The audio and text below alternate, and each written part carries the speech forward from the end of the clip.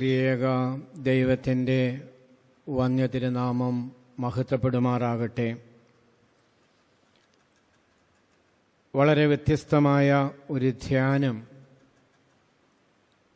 തുമ്പമൺ മെത്രാസനത്തിലെ ബാലസമാജത്തിന്റെ ആഭിമുഖ്യത്തിൽ നടന്നുകൊണ്ടിരിക്കുകയാണ്. ബീറ്റി of silence മൗനത്തിന്റെ സൗന്ദര്യം. ഈ വിഷയം തുമ്പോൺ മദ്രാസന ബാലസമാജം വിശകലനം ചെയ്യുന്നതിന്റെ പശ്ചാത്തലം. നമ്മുടെ എല്ലാം അഭിവന്യനായ ഗുരുവായ മൈലപ്പറ പി ഐ മാത്യു സർമ്പാച്ചന്റെ മുപ്പതാമത് ഓർമ്മയോട് അനുബന്ധിച്ചാണ്. ഈ ധന്യമായ പുണ്യമായ പ്രഭാതം പങ്കുവെക്കുവാൻ ദൈവം തന്ന അവസരത്തെ ഓർത്ത് നന്ദിയോടെ സ്തുതിക്കുന്നു. ബാലസമാജത്തിന്റെ പ്രസിഡന്റ് അഭ്യുന്നനായ ഡോക്ടർ ജോഷുമാർ നിക്കോദിമസ് മെത്രാപ്പൊളിത്ത തിരുമനസ്സുകൊണ്ട് ഈ സമ്മേളനം ഉദ്ഘാടനം ചെയ്തിരിക്കുകയാണ്. ബാലസമാജത്തിന്റെ വ്യത്യസ്തങ്ങളായ പരിപാടികളാണ് കഴിഞ്ഞ കുറേ വർഷങ്ങളായി നടന്നുകൊണ്ടിരിക്കുന്നത്. പ്രിയപ്പെട്ട ജിത്തുവച്ചന്റെ നേതൃത്വത്തിൽ അതിന്റെ വിവിധങ്ങളായ പദ്ധതികൾ ആവിഷ്കരിച്ച് നടപ്പാക്കുന്നു. തുമ്പോൺ മെത്രാസനത്തെ സംബന്ധിച്ച് എനിക്ക് അഭിമാനമാണുള്ളത്. ഒരുപക്ഷെ സഭയുടെ ആധ്യാത്മിക രംഗത്ത് ഞാൻ എത്തിയത് ബാലസമാജത്തിൽ കൂടിയാണ്. തുമ്പവൺ മെത്രാസനത്തിലെ ഒരംഗമായിരുന്നു. പന്തളം എൺപതുകളിൽ തുമ്പവൺ ഭദ്രാസനത്തിന്റെ ഭാഗമായിരുന്നു. ഞാൻ ആദ്യമായി ബാലസമാജത്തിന്റെ ക്യാമ്പിൽ പങ്കെടുത്തത് വടശ്ശേരിക്കരയിൽ നടന്നതാണ്. അവിടെ വെച്ചാണ് യൂഹാനന്മാർ അത്താനാസുസ് മെത്രാപ്പോലിത്തായെ നേരിട്ട് കാണുന്നത്. പിന്നീട് നാറാണമൊഴി ക്യാമ്പുകൾ.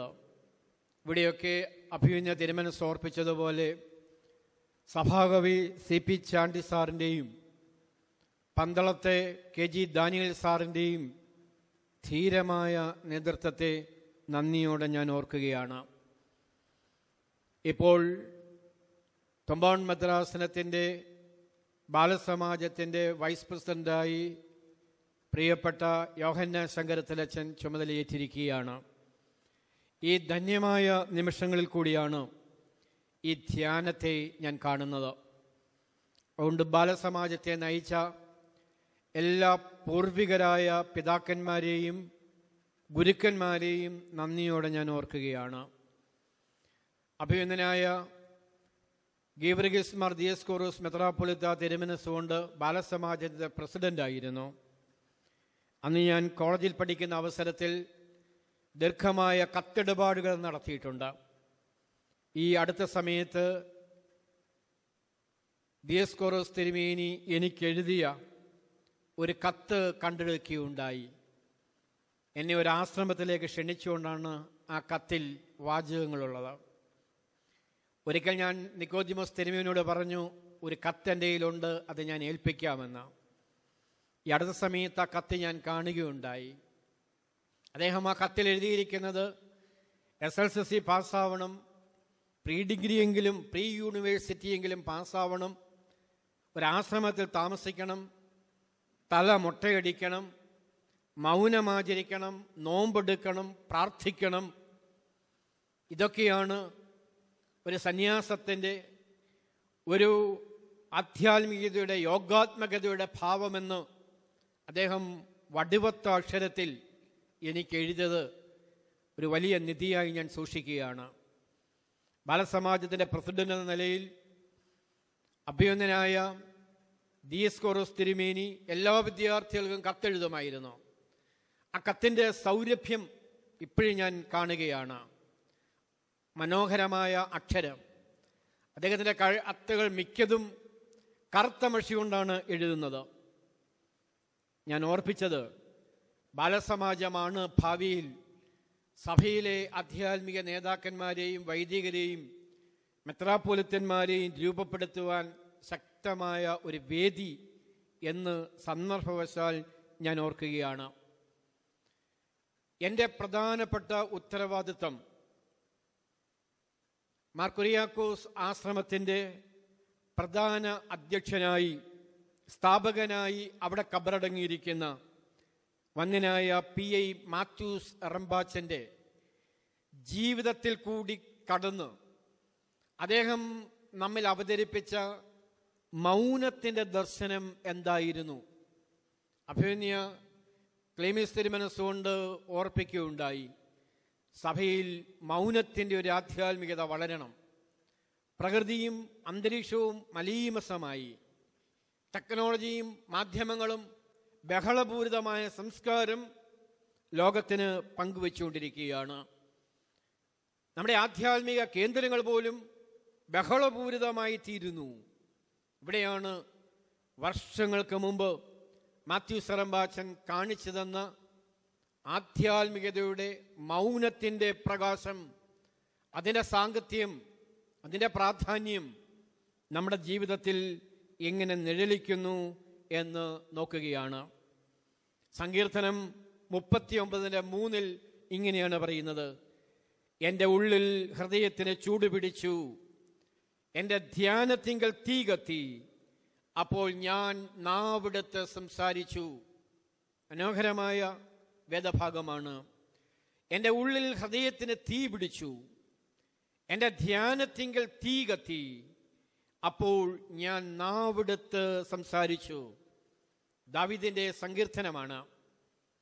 മാത്യു സറമ്പാച്ചൻ ആ ജീവിതത്തിലേക്ക് തിരിഞ്ഞു നോക്കുമ്പോൾ അദ്ദേഹവും ധ്യാനത്തിന്റെയും മൗനത്തിന്റെയും ഉപവാസത്തിന്റെയും ഏകാന്തതയുടെയും അഗാധതയിൽ ആഴ്ന്നിരുന്നപ്പോൾ ഹൃദയത്തിന് ചൂടുപിടിച്ചു ധ്യാനത്തിന് ചൂടുപിടിച്ചു തീ കത്തി ആധ്യാത്മികത ശക്തിപ്പെട്ടു അപ്പോൾ അദ്ദേഹം നാവെടുത്ത് സംസാരിക്കുന്നതിലുപരി അദ്ദേഹം പേപ്പറെടുത്ത് മധുര ഭാഷണം എഴുതി.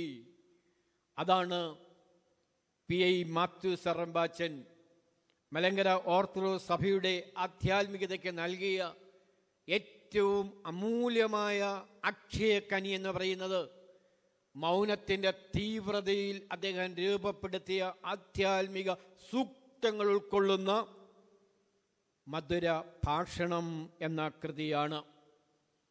ഞാൻ അതിന്റെ ആഴങ്ങളിലേക്ക് പ്രവേശിക്കുകയാണ്. പ്രിയപ്പെട്ട അഭിവന്ദനായ പി ഐ മാത്യു സറമ്പാച്ചൻ ആയിരത്തി തൊള്ളായിരത്തി നാലിൽ ജനിച്ചു. ആയിരത്തി തൊള്ളായിരത്തി തൊണ്ണൂറ്റി ഒന്നിൽ ഈ ലോകത്തിൽ നിന്ന് യാത്രയായി. സെപ്റ്റംബർ മാസം മൂന്നാം തീയതിയാണ് അദ്ദേഹം ദിവംഗതനായത്. അദ്ദേഹത്തിന്റെ ഓർമ്മ പെരുന്നാൾ നാളെ മാർ കുരിയാക്കോസ് ആശ്രമത്തിൽ നിർവഹിക്കുകയാണ്. എൺപത്തി ഏഴാമത്തെ വയസ്സിലാണ് അദ്ദേഹം അന്തരിച്ചത്. എനിക്ക് മൈലപ്ര മാത്യൂസ് റംബാച്ചനുമായും മാർ കുരിയാക്കോസ് ദേറായുമായും അഗാധമായൊരു ബന്ധമുണ്ട്. ആ ബന്ധം ആരംഭിക്കുന്നത് ആയിരത്തി തൊള്ളായിരത്തി എൺപത്തിയേഴ് തൊണ്ണൂറ്റി ഒന്ന് കാലഘട്ടത്തിലാണ്. നമ്മുടെ അഭിനന്ദനായ നഥനിയൽ റംബാച്ചൻ എന്റെ സഹപാഠിയാണ്. കോട്ടയത്ത് നിന്നും പന്തളത്ത് നിന്നും പല പ്രാവശ്യം മൈലപ്രയാശ്രമത്തിലെത്തും. പല പ്രാവശ്യം പി. ഐ. മാത്യു സറംബാച്ചനെ കാണും. അദ്ദേഹത്തോട് സംസാരിച്ചിട്ടുണ്ട്. ചില അവസരങ്ങളിൽ വരുമ്പോൾ അദ്ദേഹം പ്രത്യക്ഷപ്പെടാറില്ല. ചോദിക്കുമ്പോൾ പറയും അദ്ദേഹം മൗനവ്രതത്തിലാണ്. പിന്നീടാണ് അറിയുന്നത് അദ്ദേഹം നാൽപ്പത് ദിവസം മൗനവ്രതത്തിൽ ആറ് മാസം മൗനവ്രതത്തിൽ മുന്നൂറ്റി അറുപത്തിയഞ്ച് ദിവസം മൗനവ്രതത്തിൽ. നമ്മൾ മൗനത്തെക്കുറിച്ച് പറയുമ്പോൾ മണലാരുണ്യത്തിലേക്ക് അങ്ങ് പോകും. ഈജിപ്തിലേക്ക് പോകും. ഇതൊക്കെയാണ് ഇന്നത്തെ പാരമ്പര്യം. മൗനത്തിന്റെ ആധ്യാത്മികത പഠിപ്പിക്കുമ്പോൾ മൂന്നും നാലും അഞ്ചും നൂറ്റാണ്ടിലെ പിതാക്കന്മാരുടെ അതിഗഹനമായ സൂക്തങ്ങൾ എടുത്ത് വിശദീകരിക്കും. അതിലും മഹത്തായ മാണിക്യങ്ങൾ നമ്മുടെ മുന്നിൽ നിൽക്കുമ്പോൾ അവരെ നമ്മൾ തമസ്കരിക്കും. അതിന് പകരം വൈദേശികമായ ബൈസെന്റൈൻ സെറിയ ട്രഡീഷനുള്ള പലരെയും നമ്മൾ വിശദീകരിക്കും. അവരുടെ ഉദ്ധരണികൾ നമ്മൾ പഠിപ്പിക്കും. ഇവിടെയാണ് എന്റെ മുന്നിൽ പി ഐ മാത്യു സറംബാച്ചൻ വലിയ പ്രകാശമായിട്ട് എത്തിച്ചേരുന്നത്. ഞാൻ ഓർപ്പിക്കുകയുണ്ടായി ആയിരത്തി തൊള്ളായിരത്തി തൊണ്ണൂറ്റി ഒന്ന് സെപ്റ്റംബർ മൂന്നിന് അദ്ദേഹം അന്തരിക്കുകയുണ്ടായി. ആ സമയത്ത് കബറടക ശുശ്രൂഷയിൽ എനിക്ക് പങ്കെടുക്കുവാൻ കഴിഞ്ഞില്ല. ഞാനന്ന് മദ്രാസ് ക്രിസ്ത്യൻ കോളേജിൽ പഠിച്ചുകൊണ്ടിരിക്കുകയായിരുന്നു. എന്നാൽ പിന്നീട് ഞാൻ വരികയും ഈ കബറത്തിൽ പ്രാർത്ഥിക്കുകയും ചെയ്ത് ഓർക്കുന്നു. ആയിരത്തി തൊള്ളായിരത്തി തൊണ്ണൂറ്റിയേഴിൽ മാത്യൂസ് എറംബാച്ചന്റെ കയ്യെഴുത്ത് പ്രതികളിൽ സൂക്ഷിച്ചിരുന്ന മധുരഭാഷണം വായിക്കുവാൻ അഭിവന്ദനായ നദേനിൽ എറമ്പാച്ചൻ എന്നെ വിളിക്കുകയുണ്ടായി. അന്ന് അദ്ദേഹം സോമു ബ്രദറാണ്. പിന്നീട് സാമച്ചനായി. ഇപ്പോൾ നദനീയ റമ്പാച്ചനായി അദ്ദേഹം ആ അമൂല്യമായ രചനകൾ കയ്യെഴുത്ത് പ്രതികൾ എന്നെ കാണിച്ചു. ഇതൊന്ന് വായിച്ചു നോക്കിയിട്ടൊരു പഠനം നടത്തണം. വളരെ ഹ്രസ്വമായ ദിവസത്തിനുള്ളിൽ മൈലപ്ര മാത്യു സറമ്പാച്ചന്റെ മധുരഭാഷണം വായിച്ച് ഞങ്ങളൊരു പഠനം പ്രസിദ്ധീകരിക്കുകയുണ്ടായി. ആയിരത്തി തൊള്ളായിരത്തി തൊണ്ണൂറ്റിയേഴിൽ ഈ ഗ്രന്ഥത്തിന്റെ പേര് മൗനത്തിന്റെ പ്രകാശം എന്നാണ്. ഈ പ്രഭാഷണം നടത്തുന്നതിന് വേണ്ടി ഞാൻ ഇന്നലെ ഈ ഗ്രന്ഥം ഞാൻ തന്നെ എഴുതിയത് വായിക്കുകയുണ്ടായി. ഞാൻ തന്നെ അത്ഭുതപ്പെട്ടു. പത്തിരുപത്തിനാല് വർഷങ്ങൾക്ക് മുമ്പ് എഴുതിയ ഈ ഗ്രന്ഥം ഇന്ന് ഇത് ഔട്ട് ഓഫ് പ്രിന്റ് ആണ്. മാത്യു സർമാച്ചൻ മൗനത്തെ എങ്ങനെയാണ് കണ്ടത്? ഈ സമകാലിക ലോകത്ത് മാത്യു സറമ്പാൻ പകർന്ന മൗനത്തിന്റെ സൗന്ദര്യം എങ്ങനെയാണ്? അതിന്റെ യോഗാത്മകത എന്താണ്? അതിന്റെ ആധ്യാത്മികത എന്താണ്? അതിന്റെ വേദ അടിസ്ഥാനം എന്താണ്? അതിന്റെ ഒരു പൗരസ്ത്യ ദർശനം എന്താണ്? അതിന്റെ ഒരു ഇന്ത്യൻ പാരമ്പര്യം എന്താണ്? ഇതിന്റെയൊക്കെ പഠനങ്ങൾ നടക്കേണ്ടിയിരിക്കുന്നു. ഈ ഗ്രന്ഥത്തിൽ പൗലോസ്മാർ ഗ്രിഗോറിയോസിന്റെ ഒരു ആമുഖം ചേർത്തിട്ടുണ്ട്. പൗലോസ്മാർ ഗ്രിഗോറിയോസ് തിരുമേനി നമുക്കറിയാം. ലോകപ്രശസ്തനാണ്. ഡബ്ല്യു സി സിയുടെ പ്രസിഡന്റ് ആയിരുന്നു വൈദിക സെമിനാരിയുടെ പ്രിൻസിപ്പൾ ആയിരുന്നു ഡൽഹി മെത്രാസനത്തിന്റെ അധ്യക്ഷനായിരുന്നു. അദ്ദേഹം ഈ ഗ്രന്ഥത്തിന്റെ ആമുഖത്തിൽ മൈലപ്ര മാത്യു സർമ്പാച്ചനെ കുറിച്ച് മൂന്ന് നാല് കാര്യം പറയുന്നുണ്ട്. അദ്ദേഹം പറയുകയാണ് നമ്മുടെ മൈലപ്ര എറമ്പാച്ചൻ ഏകാന്തവാസിയും മുനിയും ആയിരുന്നെങ്കിലും അതോടുകൂടി തന്നെ സാമൂഹിക പ്രവർത്തനത്തിലും സമൂഹ പ്രാർത്ഥനയിലും വിശുദ്ധ കുർബാനയിലും ഉന്നത സ്ഥാനം അലങ്കരിച്ചിരുന്നു. പൗലോസ് മാർ ഗ്രിഗോറിയോസ് എഴുതുകയാണ് നമ്മുടെ മൈലപ്രയറമ്പാച്ചൻ ഏകാന്തവാസിയും മുനിയുമായിരുന്നു. ആ രണ്ടു വാക്കുകൾ മാത്രമാണ് എടുക്കുന്നത്. നമ്മുടെ മൈലപ്രയറമ്പാച്ചൻ ഏകാന്തവാസിയായിരുന്നു മുനിയായിരുന്നു ഋഷിയായിരുന്നു. അദ്ദേഹം ഏകാന്തമായി താമസിച്ചെങ്കിലും മുനിജീവിതം നയിച്ചെങ്കിലും സമൂഹ പ്രാർത്ഥന അദ്ദേഹം ഇഷ്ടപ്പെട്ടു. സാമൂഹിക പ്രവർത്തനങ്ങൾ അദ്ദേഹം ഇഷ്ടപ്പെട്ടു. വിശുദ്ധ കുർബാനയും ആരാധനയും അദ്ദേഹം ഇഷ്ടപ്പെട്ടു. ഇതാണ് പൗരസ്ത്യ പാരമ്പര്യം. നമ്മളിൽ ചിലർ വിചാരിക്കും മൗനം എന്ന് പറഞ്ഞാൽ ഏകാന്തതയിൽ ധ്യാനിച്ച് ധ്യാനിച്ച് ഉറങ്ങിപ്പോകുന്ന ഒരവസ്ഥയാണ് മാത്യു സെറമ്പാച്ചൻ അങ്ങനെ നിഷ്ക്രിയനായിരുന്ന ഉറങ്ങിപ്പോകുന്ന ഒരു ഇടയശ്രേഷ്ഠനല്ലായിരുന്നു. കർമ്മനിരതനായ ക്രിയാത്മകമായി പ്രവർത്തിക്കുന്ന ഒരു വലിയ ദാർശനികനായിരുന്നു. അതുകൊണ്ടാണ് പൗലോസ് മാർ ഗിരിഗോറിയസ് പറഞ്ഞത് അദ്ദേഹം ഏകാന്തവാസിയായിരുന്നു. അദ്ദേഹം ഒരു മുനിയായിരുന്നു. വീണ്ടും പൗലോസ് മാർ ഗിരിഗോറിയസ് പറയുന്നു രണ്ടാമത് എനിക്ക് അദ്ദേഹത്തോടുള്ള ബഹുമാനത്തിന്റെ അടിസ്ഥാനം ശുദ്ധതയും താഴ്മയും മൗനവും ഇടതോരാത്ത പ്രാർത്ഥനാശീലവുമായിരുന്നു. വളരെ ദാർശനികനായ ഒരു വേദശാസ്ത്രജ്ഞൻ മാത്യു സർമ്പാച്ചനെ കണ്ടിട്ട് അതിനെ ഒരു വിശകലനം എഴുതിയിരിക്കുകയാണ്. എനിക്ക് മാത്യു സർമ്പാച്ചനുള്ള ബഹുമാനത്തിന്റെ അടിസ്ഥാനം മാത്യു സർമ്പാച്ചന്റെ ശുദ്ധത അദ്ദേഹത്തിന്റെ താഴ്മ അദ്ദേഹത്തിന്റെ മൗനം അദ്ദേഹത്തിന്റെ ഇടതോരാത്ത പ്രാർത്ഥനാശീലം. ഇതാണ് നമ്മൾ മനസ്സിലാക്കേണ്ടത്. മൗനം എന്ന് പറയുമ്പോൾ ഏതെങ്കിലും ഒരു അറയിൽ ഇരുട്ടറയിൽ കയറി ധ്യാനിച്ച് ധ്യാനിച്ച് കണ്ണുകൾ അടച്ചിരിക്കുന്ന ഒരു അനുഭവമല്ല.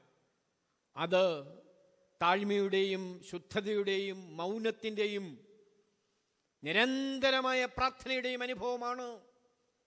ഇതാണ് മാത്യു സർവംബാച്ചൻ കാണിച്ചതെന്ന് മൗനത്തിന്റെ ആധ്യാത്മികത എന്ന് പറയുന്നത്. മൂന്നാമത് പൗലോസ് മർഗിരിഗോറോസ് പറയുന്നത് അതിശ്രേഷ്ഠമാണ്. പ്രാർത്ഥനയിലും ഉപവാസത്തിലും പരിമല തിരുമേനിയെ പോലെ തന്നെ അത്യുത്സകനും നിഷ്ഠയുള്ളവനുമായിരുന്നു മൈലപ്ര മാത്യു സറമ്പാച്ചൻ മലങ്കരയിൽ അത്യപൂർവമായ പിതാക്കന്മാരെ മാത്രമേ പൗലോസ് മാർഗരി ഓരോ ഹൃദയത്തോട് ചേർത്ത് പിടിച്ചിട്ടുള്ളൂ. അതിലേറ്റവും മുന്നിൽ നിൽക്കുന്നതാണ് പരിമല തിരുമേനി. മറ്റൊരാളാണ് പാമ്പാടി തിരുമേനി. വേറൊരു പിതാവാണ് ഗേവ്രഗീസ് ദുദിയൻ ബാവ. അദ്ദേഹം ഇവിടെ പറയുന്നു ഞാൻ അദ്ദേഹത്തെ ബഹുമാനിക്കുന്നു. കാരണം പരിമല തിരുമീനിയെ പോലെ വ്രതനിഷ്ഠയും പ്രാർത്ഥനാ ജീവിതവുമുള്ള പുണ്യാത്മാവാണ് മൈലപ്ര മാത്യു സറമ്പാച്ചൻ ഒരു കാര്യം കൂടി പൗലൂസ് മാർഗരിഗൂറൂസ് മാത്യൂസ് റംബാച്ചനെ കുറിച്ച് പറയുന്നു. നാലാമത് ഏകാന്തതയിലും മൗനവ്രതത്തിലും കാലം കഴിച്ച് ദൈവസ്നേഹത്തിന്റെ അഗാധമായ അനുഭവം മൂലം അജ്ഞാത പരിശുദ്ധനായി ഉയർന്ന മാത്യു സർമ്പാച്ചനോട് എനിക്ക് വലിയ ബഹുമാനമാണ്. പൗലോസ് മാർ ഗരിഗോറിയോസ് ലേഖനമാണ് ഒരു പരിശുദ്ധനെ എങ്ങനെ നമുക്ക് പ്രഖ്യാപിക്കാൻ കഴിയും എന്ന് അതിന്റെ വേദ വിശകലനം അടയാളപ്പെടുത്തിയിരിക്കുന്നത് പൗലോസ് മാർ ഗരിഗോറിയോസ് ആണ് ആ ലേഖനമാണ് മലയാളത്തിൽ അങ്ങോട്ടും ഇങ്ങോട്ടും ഓടിക്കൊണ്ടിരിക്കുന്നത്. പിന്നീടുള്ള എല്ലാ ലേഖനങ്ങളും പൗലോസ് മാർ ഗരിഗോറിയോസ് തിരുമേനി എഴുതിയ ലേഖനത്തെ അടിസ്ഥാനപ്പെടുത്തിയുള്ളതാണ്. അദ്ദേഹം പറയുകയാണ് മാത്യു സെറമ്പാച്ചൻ ഒരു പരിശുദ്ധനാണെന്ന്. ഇതിൽ വലിയ വെളിപ്പെടുത്തൽ എന്താ വേണ്ടത്? ഇതിൽ വലിയ പ്രഖ്യാപനം എന്താ പറയേണ്ടത്? അദ്ദേഹം ഉപയോഗിച്ചിരിക്കുന്ന ഒരു വാക്ക് അദ്ദേഹം ഒരു അജ്ഞാത പരിശുദ്ധനായി ഉയർന്ന മാത്യു സെറമ്പാച്ചനോട് എനിക്ക് വലിയ ബഹുമാനമാണുള്ളത്. ഈ മഹൽ ജീവിതത്തിന്റെ ഒരു മുഖരമായി അയ്യായിരത്തിലധികം പേജുകൾ വരുന്ന സ്വന്തം കൈപ്പടയിലുള്ള ലിഖിതങ്ങളെ മധുരഭാഷണങ്ങളെ നമുക്ക് കാണുവാൻ കഴിയും. പോലീസ്മാർ ഗ്രിഗോറിയൂസ് അടയാളപ്പെടുത്തുന്നു. അയ്യായിരത്തിലധികം പേജുകൾ വരുന്ന കയ്യെഴുത്ത് പ്രതികൾ പി ഐ മാത്യു സറമ്പാച്ചൻ എഴുതി. ഈ അയ്യായിരത്തിൽ പരം പേജുകളിലെ അങ്ങും ഇങ്ങും പരിശോധിച്ചാണ് ഈ ചെറിയ ഗ്രന്ഥം എഴുതിയിരിക്കുന്നത്. മൗനത്തിന്റെ പ്രകാശം മൗനത്തിന്റെ വേദശാസ്ത്രം മലങ്കരയിൽ എങ്ങനെയാണ് മാത്യു സറമ്പാച്ചൻ അവതരിപ്പിച്ചിരിക്കുന്നത് എന്ന് ഓർക്കുകയാണ്. ഈ സുദിനത്തിൽ മാത്യു സറമ്പാച്ചൻ മാത്രമല്ല മലങ്കര സഭയിൽ ഈ മൗനത്തിന്റെ ആധ്യാത്മികത അടയാളപ്പെടുത്തിയിരിക്കുന്നത്. തമ്പാൻ ഭദ്രാസനത്തിന്റെ ഈ ബാലസമാജത്തിന്റെ നോട്ടീസ് നോക്കാമെങ്കിൽ മറ്റ് നാലഞ്ച് പിതാക്കന്മാരെ കൂടി അവിടെ രേഖപ്പെടുത്തിയിട്ടുണ്ട്. ഞാൻ ഒരാളുടെ പേര് കൂടി അതിനകത്ത് ചേർക്കുകയാണ്. അത് പരിമലമാർ ഗ്രീഗോറിയോസ് തിരുമേനിയാണ്. ആയിരത്തി തൊള്ളായിരത്തി നാൽപ്പത്തി എട്ടിൽ ജനിച്ചു. ആയിരത്തി തൊള്ളായിരത്തി രണ്ടിൽ കാലം ചെയ്തു. മാത്യൂസ് ദിദിയൻ ബാവ ആയിരത്തി തൊള്ളായിരത്തി പതിനഞ്ചിൽ ജനിച്ചു. രണ്ടായിരത്തി ആറിൽ കാലം ചെയ്തു. ശാസ്താംകോട്ടെ കബറടങ്ങിയിരിക്കുന്നു. മൗനത്തിന്റെയും ഏകാന്തതയുടെയും ആരാധനയുടെയും വലിയ ദർശനങ്ങൾ അവതരിപ്പിച്ചു. പരിശുദ്ധ പൗലോസ് ദിദിയൻ കാതോലിക്ക ബാബ തിരുമേനി ആയിരത്തി തൊള്ളായിരത്തി നാൽപ്പത്തി ആറിൽ ജനിച്ചു. രണ്ടായിരത്തി ഇരുപത്തിയൊന്ന് ജൂലൈ പന്ത്രണ്ടിന് കാലം ചെയ്തു. വിശുദ്ധ ബാബാതിരുമേനിയുടെ ജീവിതത്തിന്റെ അകവും പുറവും നമുക്കറിയാം. അദ്ദേഹത്തിന്റെ ജീവിതത്തിന്റെ ഏറ്റവും ശക്തമായ അനുഭവമാണ് അദ്ദേഹത്തിന്റെ സാമൂഹ്യ ദർശനവും അദ്ദേഹത്തിന്റെ ആധ്യാത്മിക ദർശനവും. നിർഭാഗ്യം എന്ന് പറയട്ടെ നമ്മൾ ഏറ്റവും അധികം കൊട്ടിഘോഷിച്ചത് അദ്ദേഹത്തിന്റെ സഭാദർശനമാണ് പൗലോസ് ദ്വിതീയൻ കാതോലിക്ക ബാവയുടെ സാമൂഹ്യ ദർശനവും ആധ്യാത്മിക ദർശനവും നമ്മൾ വിശകലനം ചെയ്യുമ്പോൾ ഇതിന് രണ്ടിനെയും പിന്നിലെ സഭാദർശനം നിൽക്കുകയുള്ളൂ. എന്തായാലും അദ്ദേഹം കാലം ചെയ്തു കഴിഞ്ഞപ്പോൾ ഏറ്റവും കൂടുതൽ പ്രചരിച്ചത് സഭാദർശനത്തേക്കാൾ പൗലൂസ് ദിദിയൻ കാതുലിക്ക ബാവായുടെ സാമൂഹ്യക്ഷേമ പ്രവർത്തനങ്ങൾ. ഇരുചെയ്വി അറിയാതെ അദ്ദേഹം നടത്തിയ ക്ഷേമപ്രവർത്തനങ്ങൾ അപ്പോഴാണ് നമ്മൾ തിരിച്ചറിഞ്ഞത്. പൗലൂസ് ദിദിയൻ കാതോലിക്ക ബാവായുടെ ജീവിതത്തിന്റെ അകവും പുറവും അത് നിശബ്ദതയുടേതായിരുന്നു മൗനത്തിന്റെതായിരുന്നു അത് ഏകാന്തതയുടേതായിരുന്നു. അത് ബഹളപൂരിതമല്ലായിരുന്നു വലിയ കവറേജുകളുടേതല്ലായിരുന്നു. അത് നാലുപേരെ വിളിച്ചറിയിക്കുന്നതല്ലായിരുന്നു. ഇവിടെ അഭിവന്യ തിരുമനസ്സുകൊണ്ട് ഓർപ്പിക്കുകയുണ്ടായി. അദ്ദേഹം വാഗത്താന് ഞാലിയാവുഴി ദേറായിൽ മുപ്പത്തിയാറ് മണിക്കൂറിലധികം ഏകാന്തതയിലിരിക്കുന്നത് മൗനത്തിലിരിക്കുന്നത്. പൗലോസ് ദിദിയൻ ബാബാ തിരുമേനയുടെ ഏകാന്തതയെക്കുറിച്ചും മൗനത്തെക്കുറിച്ചും ഞാൻ ദീർഘമായ ഒരു സംഭാഷണം നടത്തിയിട്ടുണ്ട്. മലങ്കര സഭയിൽ അച്ചടിച്ചു വന്നിട്ടുണ്ട്. അദ്ദേഹം അതിന്റെ വലിയ ദാർശനിക തലങ്ങളൊന്നും പറഞ്ഞിട്ടില്ല. അദ്ദേഹം പറഞ്ഞ രണ്ട് മൂന്ന് വരി ഞാൻ ഓർക്കുകയാണ്. ഞാൻ പത്ത് മുപ്പത്തി ആറ് മണിക്കൂർ അവിടെ പോയിരിക്കും.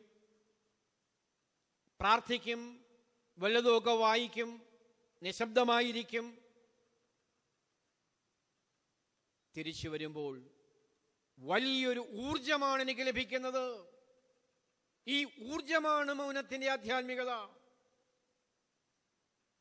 പ്രവർത്തിക്കുവാനും കർമ്മനിരതനാകുവാനുമുള്ള ഊർജം മൗനത്തിൽ കൂടി ഏകാന്തതയിൽ കൂടി ആരാധനയിൽ കൂടി പ്രാർത്ഥനയിൽ കൂടി സമാർജിക്കുന്ന പാരമ്പര്യം മലങ്കരയിലെ പിതാക്കന്മാർ നടത്തിയിട്ടുണ്ട്. അതിന് ഈജിപ്തിൽ പോകണ്ട അതിന് വിദേശത്ത് പോകണ്ട. മലങ്കര സഭാ പിതാക്കന്മാരെ കുറിച്ച് പഠനം നടത്തിയത് എന്റെ ഗുരു കൂടിയായ ഡോക്ടർ സാവുമേൽ ചന്ദനപ്പിള്ളിയാണ് അദ്ദേഹം എഴുതിയിട്ടുണ്ട്. മലങ്കര സഭാപിതാക്കന്മാരെ കുറിച്ച് നമുക്ക് പഠിക്കുന്നത് ഒരു അന്തസ്സായ അലർജിയാണ്. പിതാക്കന്മാരെ കുറിച്ച് പഠിക്കുവാൻ നമ്മൾ വിദേശത്ത് പോകും. വിദേശ സർവകലാശാലയിൽ പോലും. അവരെക്കാൾ പ്രഗത്ഭരായ ആധ്യാത്മിക പ്രകാശങ്ങൾ ഇവിടെ കേരളത്തിലുണ്ട്. അത് പഠിക്കുവാനുള്ള ഗവേഷകരുണ്ടാവണം. ഡോക്ടർ സൗമ്യ ചന്ദ്രപ്പള്ളി സാർ ലോകത്തോട് കടന്നുപോയി. വലിയ ഗവേഷകൻ മികച്ച പ്രഭാഷകൻ മികച്ച എഴുത്തുകാരൻ മികച്ച അധ്യാപകൻ. ആ നാമത്തിന്റെ മുമ്പിൽ ഞാൻ ശിരസ് നമിക്കുകയാണ്. മലങ്കര സഭയിൽ മലങ്കര സഭാപിതാക്കന്മാരുടെ ദർശനങ്ങളെക്കുറിച്ചും ആധ്യാത്മികതയെക്കുറിച്ചും പഠിക്കുവാനുള്ള ഒരു പിതൃവിജ്ഞാനിക പഠനശാഖ മലങ്കരയിൽ ഉണ്ടാകണം. മൗനത്തിന്റെ ആധ്യാത്മികതയെക്കുറിച്ച് പഠിക്കുമ്പോൾ മലങ്കരയിലെ പിതാക്കന്മാരെ കുറിച്ച് പഠിക്കണം. അതിന്റെ രേഖ പറഞ്ഞപ്പോഴാണ് പൗലൂസ് ദിദ്യൻ ബാവ വരെ ഞാൻ എത്തിയത്. അവർ മാത്രമല്ല പാമ്പാടി കുരിയാക്കോസ്മാർ ഗ്രിഗോറിയോസ് തിരുമേനി പാമ്പാടി തിരുമേനി ഞാൻ ജനിക്കുന്നതിന് മുമ്പ് അദ്ദേഹം കാലം ചെയ്തു. അറുപത്തി അഞ്ചിൽ ഗീവ്രഗീസ്മാർ ഈവാനിയോസ് തിരുമേനി. എന്തൊരു ജീവിതം. അതുകൊണ്ട് ഞാൻ പറയും ഈ മൗനത്തെ പ്രണയിക്കുന്നവർക്ക് മൗനത്തെ ഹൃദയത്തോട് ചേർത്ത് പിടിക്കുന്നവർക്ക് നേരെ നിൽക്കുവാനും നേരിട്ട് പറയുവാനും കഴിയും. അതാണ് ആധ്യാത്മികത. ആരും തെറ്റിദ്ധരിക്കരുത്. മൗനത്തിന്റെ ആധ്യാത്മികത എന്ന് പറയുമ്പോൾ നിശബ്ദമായി ആരോടും മിണ്ടാതെ മാത്രമിരിക്കുക എന്നുള്ളതല്ല. നേരെ നിൽക്കുവാനും നേരിട്ട് പറയുവാനും പ്രവചിക്കുവാനുമുള്ള കരുത്ത്. അതുകൊണ്ടാണ് ഗിവരഗീസ്മാർ ഈ വാന്യൂസ് തിരുമേനി പുതുപ്പള്ളിപ്പള്ളിയിൽ ചെന്ന എന്ന് പറഞ്ഞത്. ഇവിടെ വെടിക്കെട്ട് അവസാനിപ്പിക്കണം. ഇവിടെ കോഴിവെട്ട് അവസാനിപ്പിക്കണം. ഇത് പറയുവാനുള്ള ആർജവം ആർക്കാ ഉള്ളത്? നേരെ പറയുവാനുള്ള ശക്തി ആർക്കാ ഉള്ളത്? പക്ഷേ നമുക്ക് ഗീവർഗീസ്മാർ ഈവാനിയോസ് മെത്രാപ്പൊലിത്തായോട് എതിര് പറയുവാനുള്ള കരുത്ത് പോയി. പുതുപ്പള്ളിക്കാർക്കും ഉണ്ടായില്ല. കാരണം അദ്ദേഹത്തിന്റെ പ്രാർത്ഥനയും മൗനവും മനനവും ആധ്യാത്മികതയും ജനങ്ങൾക്കറിയാമായിരുന്നു. അതുകൊണ്ട് അദ്ദേഹത്തിന്റെ വാദമുഖത്തെ കണ്ണിക്കുവാൻ കഴിഞ്ഞില്ല. നേരിട്ട് പോയി പറഞ്ഞു. ഗീവരഗീസ് സഹതയുടെ പെരുന്നാളിലൊക്കെ പോയ എല്ലാ പള്ളികളിലും ഗീവരഗീസ്മാർ ഇവാനിയോസ് ഈവാനിയോസ് മെത്രാപൊലിത്ത അതിശക്തമായ വിമർശന മുഖങ്ങൾ ഉന്നയിച്ചിരുന്നു. എന്തുകൊണ്ടാണ് ഇങ്ങനെ ധീരമായി പറയുവാൻ കരുത്തുള്ള നേതാക്കന്മാർ നഷ്ടപ്പെട്ടു പോകുന്നത്? ഞാൻ പറയും മൗനത്തിന്റെയും ധ്യാനത്തിന്റെയും ആധ്യാത്മികത ചോർന്നു പോകുന്നത് കൊണ്ടാണോ എന്ന് എനിക്ക് തോന്നിപ്പോകുന്നു.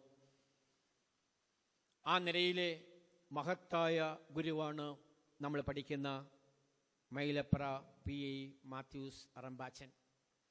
ഞാൻ നേരിട്ട് കണ്ട് നേരിട്ട് അനുഗ്രഹങ്ങൾ വാങ്ങി നേരിട്ട് അദ്ദേഹത്തോട് സംസാരിച്ച് അദ്ദേഹത്തിന്റെ ആധ്യാത്മികതയെ വളരെ കൗതുകത്തോടെ കണ്ടെറിഞ്ഞ ഒരനുഭവം എനിക്കുള്ളതുകൊണ്ട് മാത്യു സറമ്പാച്ചൻ നമുക്ക് പകർന്നു തന്ന ആ മൗനത്തിന്റെ ആധ്യാത്മികത എന്തായിരുന്നു എന്ന് വിശകലനം ചെയ്ത് ഈ പ്രഭാഷണം അവസാനിപ്പിക്കുകയാണ്. കാരണം അദ്ദേഹത്തിന്റെ മുപ്പതാമത് വിശുദ്ധമായ ഓർമ്മകളാണ് നമ്മൾ നിർവഹിക്കുന്നത്. മത്യൂസ് എറമ്പാച്ചിനെ കുറിച്ച് നമ്മൾ ഓർക്കുമ്പോൾ അദ്ദേഹം ഇരുപത്തിയെട്ടാമത്തെ വയസ്സിൽ വൈദികനായി മുപ്പത്തി ഒൻപതാമത്തെ വയസ്സിൽ അദ്ദേഹം റംബാനായി എൺപത്തി ഏഴാമത്തെ വയസ്സിൽ ദിവംഗതനായി. എൺപത്തേഴ് വർഷത്തെ അദ്ദേഹത്തിന്റെ ജീവിതം നമുക്ക് തന്ന സൂക്തം എന്താണ് സുഹൃതം എന്താണ് ആധ്യാത്മിക പൈതൃകം എന്താണ് മൂന്ന് കാര്യങ്ങൾ വിശദീകരിക്കുവാനാണ് ഞാൻ ആഗ്രഹിക്കുന്നത്. ഒന്ന് തപോധനനായ മാത്യു സറമ്പാൻ. തപോധനനായ മാത്യു സറമ്പാൻ. തപസ്. ഇഷ്ടപ്പെട്ട ഒരു വാക്കാണ് നമുക്ക്. പക്ഷെ നമുക്കത് സാധ്യമല്ല. വലിയ ഗുരുക്കന്മാർ തപസ്യകളായിരുന്നു. ഏകാന്തതയെ അവർ പ്രണയിച്ചു. ഏകാന്തതയെ അവർ ഇഷ്ടപ്പെട്ടു. ഏകാന്തതയിൽ ദൈവത്തോട് സംസാരിക്കുവാനുള്ള കരുത്ത് അവർക്കുണ്ടായിരുന്നു. തപസ് എന്ന വാക്കിനകത്ത് ഏകാന്തതയുണ്ട്. തപസ് എന്ന വാക്കിൽ പ്രാർത്ഥനയുണ്ട്. തപസ് എന്ന വാക്കിൽ ആധ്യാത്മിക ശിക്ഷണമുണ്ട്. എല്ലാം അതിലുണ്ട്. തപസ് എന്ന വാക്കിൽ ജീവിതത്തിന്റെ വിശുദ്ധിയുണ്ട്. ജീവിതത്തിന്റെ നൈർമല്യമുണ്ട്. ജീവിതത്തിന്റെ നിഷ്കളങ്കതയുണ്ട്. മാത്യു സെറമ്പാൻ ഒരു തപോധനനായിരുന്നു. പ്രാർത്ഥന ഉപവാസം മൗനവ്രതം ആരാധന വിശുദ്ധ കുർബാന ഇതെല്ലാം ക്രമമായി ക്രമമായി അദ്ദേഹം നിർവചി നിർവചിച്ചിരുന്നു. ആ ധ്യാനത്തിന്റെ വഴികൾ നമ്മളൊന്ന് തിരിച്ചറിയണം. ആ തപസ്സിന്റെ നാല് വഴികൾ ഞാനൊന്ന് അടയാളപ്പെടുത്തുവാൻ ആഗ്രഹിക്കുകയാണ്. പി. ഐ. മാത്യു സർബാച്ചന്റെ ധ്യാന വഴികളിൽ ഒന്നാമത്തത് ഗുരുകുലവാസമാണ്. അദ്ദേഹം താമസിച്ച് പഠിച്ചു ഗുരുവിന്റെ കീഴിൽ അഭ്യസിച്ചു. ഞാനിവിടെ ഉദ്ധരിച്ച പല പിതാക്കന്മാരുടെയും മാതൃക എന്ന് പറയുന്ന പരമല തിരുമേനിയാണ് പരമല തിരുമേനിയുടെ ഏകാന്തതയും പരമല തിരുമേനിയുടെ ധ്യാനവും തപസ്സുമൊക്കെ വളരെ പ്രശസ്തമാണ്. അത് എറണാകുളം ജില്ലയിലെ മുളന്തുരത്തേക്ക് അടുത്തുള്ള വെട്ടിക്കൽ ദേറായിലായിരുന്നു. ആ തപസ്സിനെ കുറിച്ച് ദീർഘമായ എഴുത്തുകളുണ്ട്. പരമല തിരുമേനിയെ കുറിച്ച് ആദ്യം തന്നെ ഒരു ജീവചരിത്ര രേഖ എഴുതിയിരിക്കുന്നത് എം പി വർക്കിയാണ് ആയിരത്തി തൊള്ളായിരത്തി രണ്ടിലാണ് എം പി വർക്കി മാർ ഗ്രിഗോറിയോസ് എന്ന പുസ്തകം എഴുതിയത്. പരമല തിരുമേനിയുടെ സമകാലികനായിരുന്നു എം പി വർക്കി. നവംബറിൽ പരമല തിരുമേനി കാലം ചെയ്തു. ഡിസംബറിൽ പുസ്തകം ഇറങ്ങി. ആ വർഷം തന്നെ അത് രണ്ട് എഡിഷൻ ഇറങ്ങി. ഇപ്പോൾ ആ പുസ്തകം അവൈലബിൾ ആണ്. പുതിയ പതിപ്പുകൾ. പരമല തിരുമേനിയുടെ മാതൃക. പരമല തിരുമേനിയുടെ ശിഷ്യനാണ് ഗീവർഗീസ് ബാവ.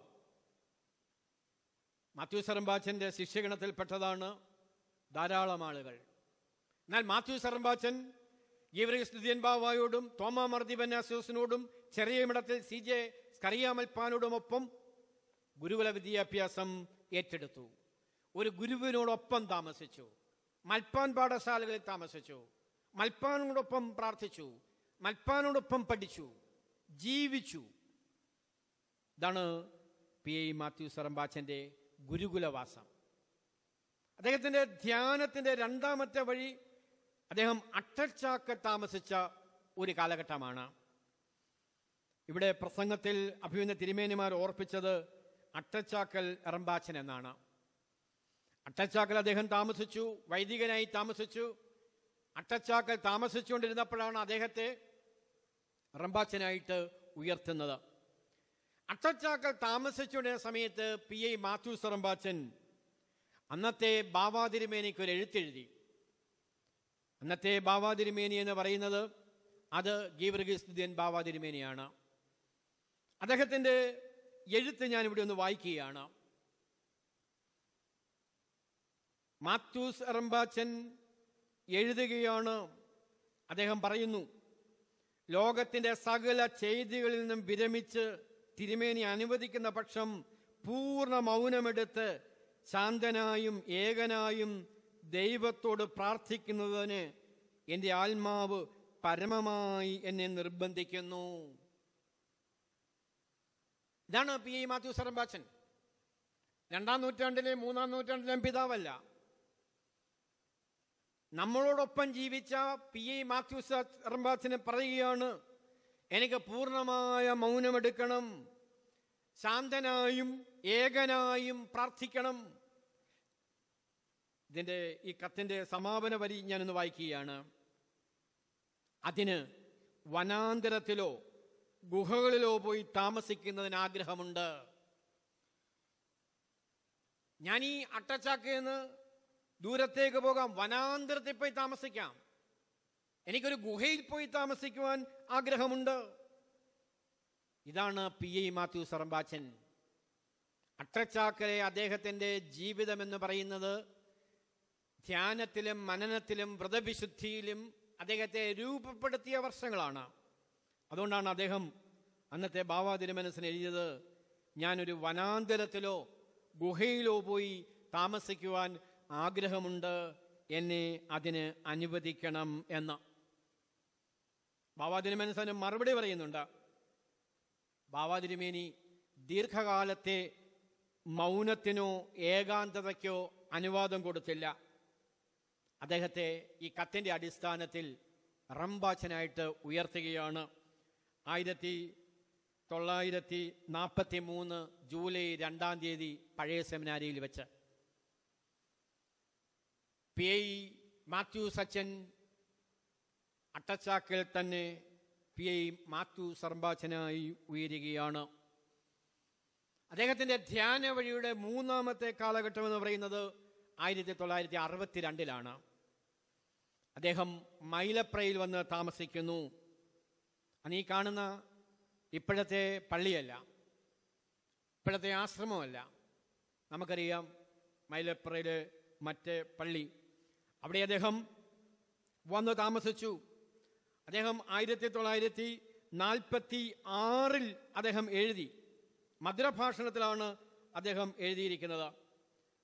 മകനെ ഇങ്ങനെയുള്ള പദവികളോ കുറിച്ചോ അവസരത്തെക്കുറിച്ചോ നീ തൽക്കാലം ആരോടും പറയരുത്. മധുസർമാജം പ്രാർത്ഥിക്കുമ്പോൾ ഓരോ അരുളപ്പാടുണ്ടാകും. അത് പേപ്പറിൽ എഴുതി വെക്കും. ഇന്നത്തെ ഈ ടെക്നോളജിയുടെ യുഗത്തിൽ ഈ ശാസ്ത്ര സാങ്കേതികയുടെ യുഗത്തിൽ നമുക്ക് കേൾക്കുമ്പോൾ ചില തോന്നലുകളായിട്ട് വെളിപ്പെടാം.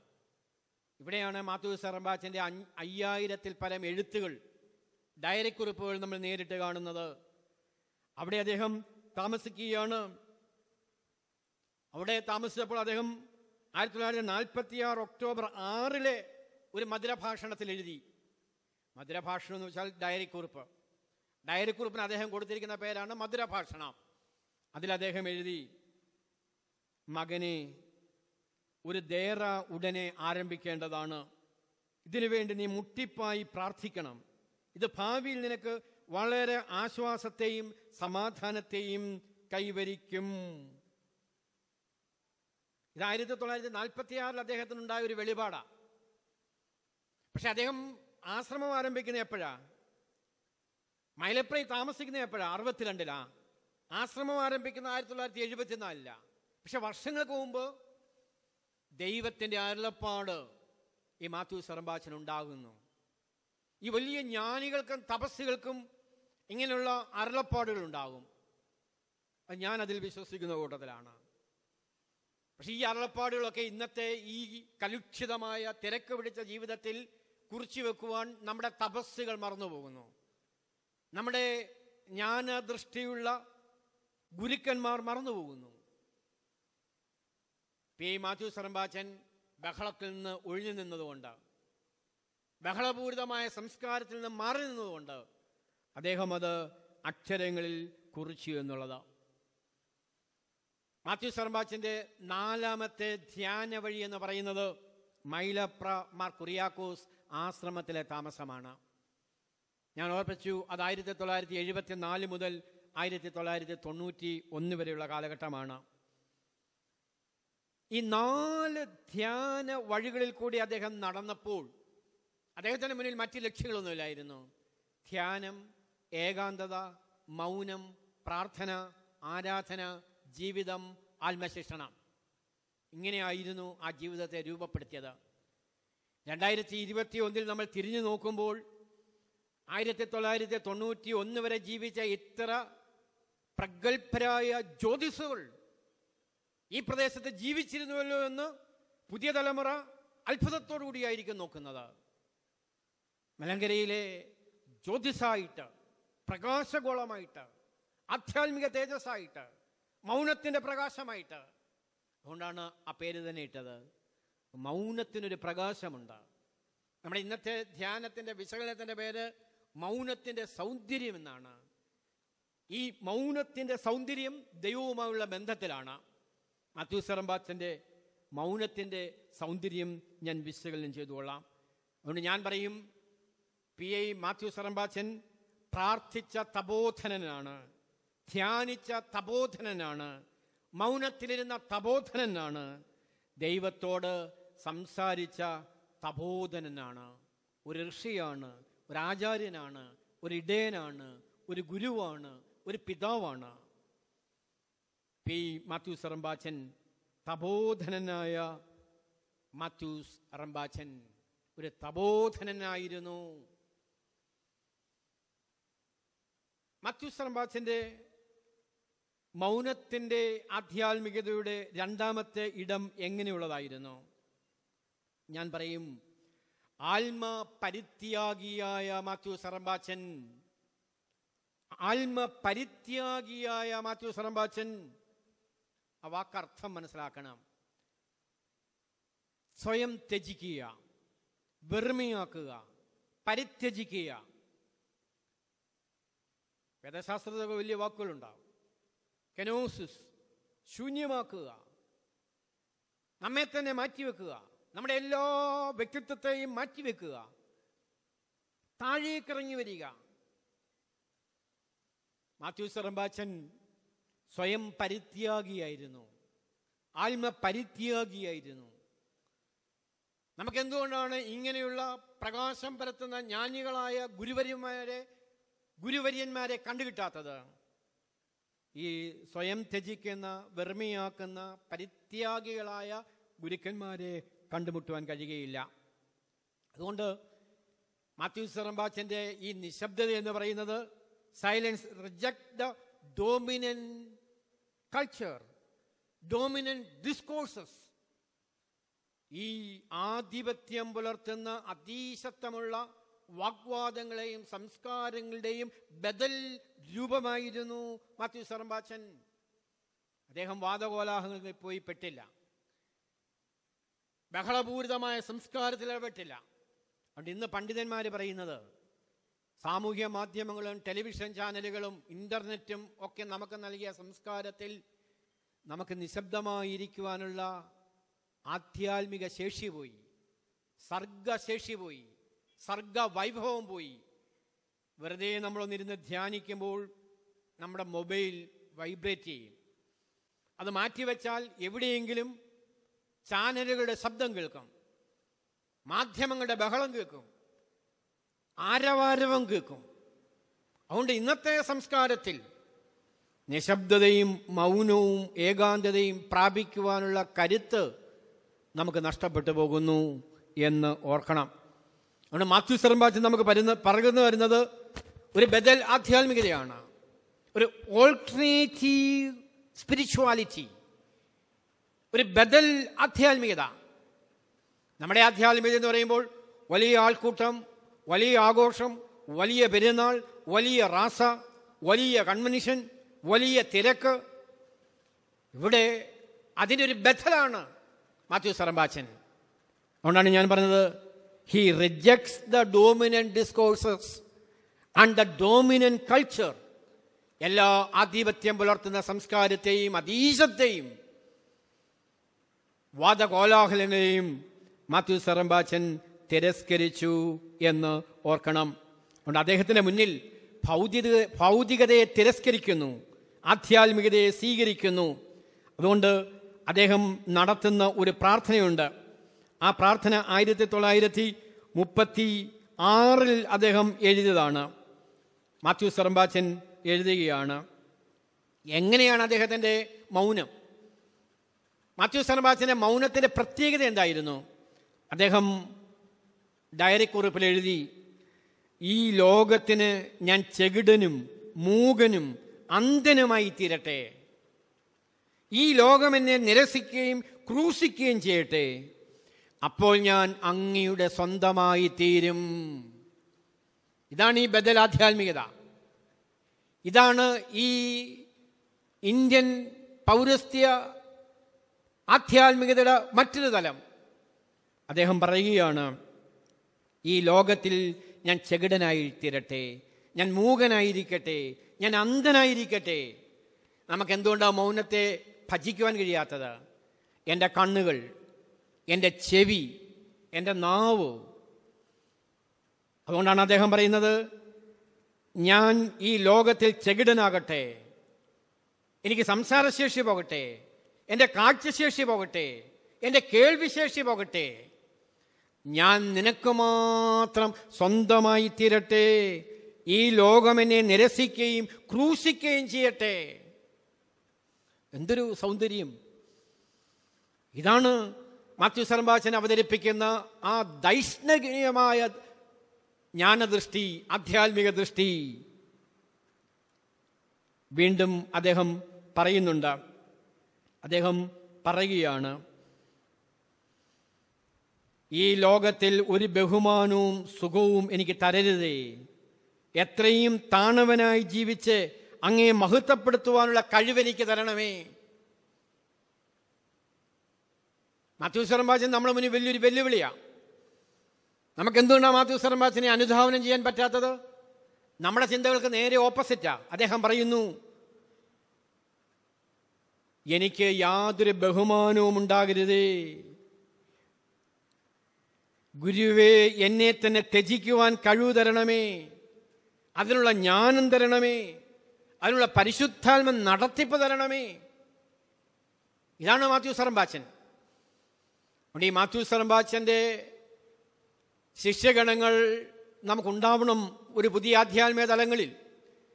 അപ്പം നമ്മുടെ മുന്നിലുള്ള ചോദ്യം സ്വയം പ്രശംസിക്കുവാനും ആഗോളീകരിക്കുവാനും കവറേജ് കൊടുക്കുവാനും നമുക്ക് പറ്റത്തില്ല. ഫേസ്ബുക്കിൽ പോസ്റ്റ് ഇടാൻ നമുക്ക് പറ്റത്തില്ല. സ്വന്തമായി പ്രസംഗമെടുത്ത് നമുക്ക് യൂട്യൂബിലിടാൻ പറ്റുകയില്ല. മാത്യു സർമ്പാച്ചനെ നമ്മൾ ഫോളോ ചെയ്യുന്നെങ്കിൽ അദ്ദേഹം പറയുന്നു ഗുരുവേ എന്നെ തന്നെ ത്യജിക്കുവാൻ എനിക്ക് കഴിവ് തരണമേ. അതിനുള്ള ജ്ഞാനം തരണമേ. അതിനുള്ള പരിശുദ്ധാത്മ നടത്തിപ്പ് തരണമേ. ലോകത്തിന്റെ ഒരു ബഹുമാനവും ഒരു സുഖവും എനിക്ക് തരരുതേ. ഇത് ആദ്യമ നൂറ്റാണ്ടിലെ പല ദാർശനികരായ സന്യാസികളും സന്യാസ പിതാക്കന്മാരും കാണിച്ചു തന്നു. പുരുഷന്മാർ മാത്രമല്ല സന്യാസികളായ സ്ത്രീകളുണ്ടായിരുന്നു. ഡെസേറ്റ് ഫാദേഴ്സ് ഡെസേറ്റ് ടീച്ചേഴ്സ് ഗുരുക്കന്മാരുണ്ടായിരുന്നു. അവരൊക്കെ അവരെ തന്നെ താഴ്ത്തുകയാണ്. ഈ മാത്യു സർമ്പാച്ചന്റെ മധുരഭാഷ നമ്മൾ വായിക്കുമ്പോൾ അതിനകത്ത് റിപ്പീറ്റ് ചെയ്യുന്ന ചില വാക്കുകളുണ്ട്. അടിയൻ. അടിയനെ നീ കാത്തുകൊള്ളണമേ. ഒരു വിനീത ഭാവം പല പ്രാവശ്യവും അതിനകത്ത് എഴുതും. പല കത്തിലും അദ്ദേഹം എഴുതും ഈ ദാസനെ അനുഗ്രഹിക്കണമേ. വിനീത ഭാവം പല എഴുത്തിലും അദ്ദേഹം എഴുതി ബലഹീനായി എന്നെ കാത്തുകൊള്ളണമേ. ഈ മൂന്ന് വാക്കുകളാണ് റിപ്പീറ്റ് ചെയ്യുന്നത്. ബലഹീനൻ അടിയൻ ദാസൻ. ഇതാണ് മാത്യു സെറംബാച്ചന്റെ ഒരു അനുഭവം എന്ന് പറയുന്നത്. വീണ്ടും അദ്ദേഹത്തിന്റെ ആത്മപരിത്യാഗം എന്തായിരുന്നു? അതാണ് ഞാൻ നോക്കുന്നത്. അദ്ദേഹം എഴുതി. അദ്ദേഹം തന്നെ പറഞ്ഞു മൗനത്തെക്കുറിച്ചൊരു ദീർഘമായ വിശകലനം മാത്യു സെറംബാച്ചന്റെ ദർശനത്തിലുണ്ട്. അദ്ദേഹം പറയുന്ന ഒരാശയം ഇതാണ്. ദൈവകൃപ നഷ്ടമാകാതിരിക്കുവാൻ വ്യർത്ഥ സംഭാഷണങ്ങളിൽ നിന്ന് ഒഴിഞ്ഞ് മൗനം പാലിക്കുവാൻ ശക്തി നൽകണമേ. ചോദ്യം ഉത്തരം അതിനകത്തുണ്ടാവും എന്തിനാണ് മാത്യു സർമ്പാചൻ മൗനം ഭജിച്ചത്? വർത്തസംഭാഷണങ്ങളിൽ നിന്നും. എന്തുകൊണ്ടാണ് വർത്തസംഭാഷണങ്ങളിൽ നിന്നും മാറി നിന്നത്? മാത്യു സർമ്പാചൻ പറയുന്നു ദൈവകൃപ നഷ്ടപ്പെടാതിരിക്കുവാൻ വ്യർത്ഥമായ സംഭാഷണങ്ങളിൽ നിന്നും പിന്തിരിഞ്ഞ് മൗനമായിരിക്കുവാൻ എനിക്ക് കൃപ നൽകണമേ. നമ്മുടെയൊക്കെ പള്ളികളിലെയും ഇടവകളിലെയും ഒക്കെ വാദകോലാഹലങ്ങളുടെയും വഴക്കുകളുടെയൊക്കെ അടിസ്ഥാനം ഇവിടെ കുറച്ച് പറയുന്നു അവിടെ കുറച്ച് പറയുന്നു ഇവിടെ പറയുന്നു അങ്ങോട്ട് പറയുന്നു അങ്ങോട്ട് പറയുന്നു ഇങ്ങോട്ട് പറയുന്നു. ഇവിടെ പറയുന്നു അങ്ങോട്ട് വാട്സപ്പ് ചെയ്യുന്നു. നമ്മൾ പറയുന്നത് അത് റെക്കോർഡ് ചെയ്യുന്നു. നമ്മൾ അറിയാതെ അത് പ്രചരിപ്പിക്കുന്നു. ഇതൊക്കെ ഇന്നത്തെ സമകാലികമായ സംഭാഷണങ്ങളാണ്. അതുകൊണ്ടാണ് ഈ മ്ലേച്ഛമായ സംസ്കാരം മ്ലേച്ഛമായ സംവേദനക്രമം വക്രീകരിക്കപ്പെടുന്ന സംവേദന സമ്പ്രദായം ഉണ്ട് ഫോണിൽ കൂടി ഒരാളോട് പോലും സംസാരിക്കുവാൻ നമുക്ക് ശക്തി ഇപ്പോൾ ഇല്ല. ഇതെങ്ങനെ മുറിക്കപ്പെടും ഇതെങ്ങനെ പ്രചരിപ്പിക്കപ്പെടും ഇതെങ്ങനെ ലോകത്തിന്റെ അറ്റത്തോളം എത്തപ്പെടുമെന്നതിന് ഒരു നിശ്ചയവുമില്ല. അതുകൊണ്ട് വർഷങ്ങൾക്ക് മുമ്പ് മാത്യു സർമ്പാച്ചൻ എഴുതുകയാണ്.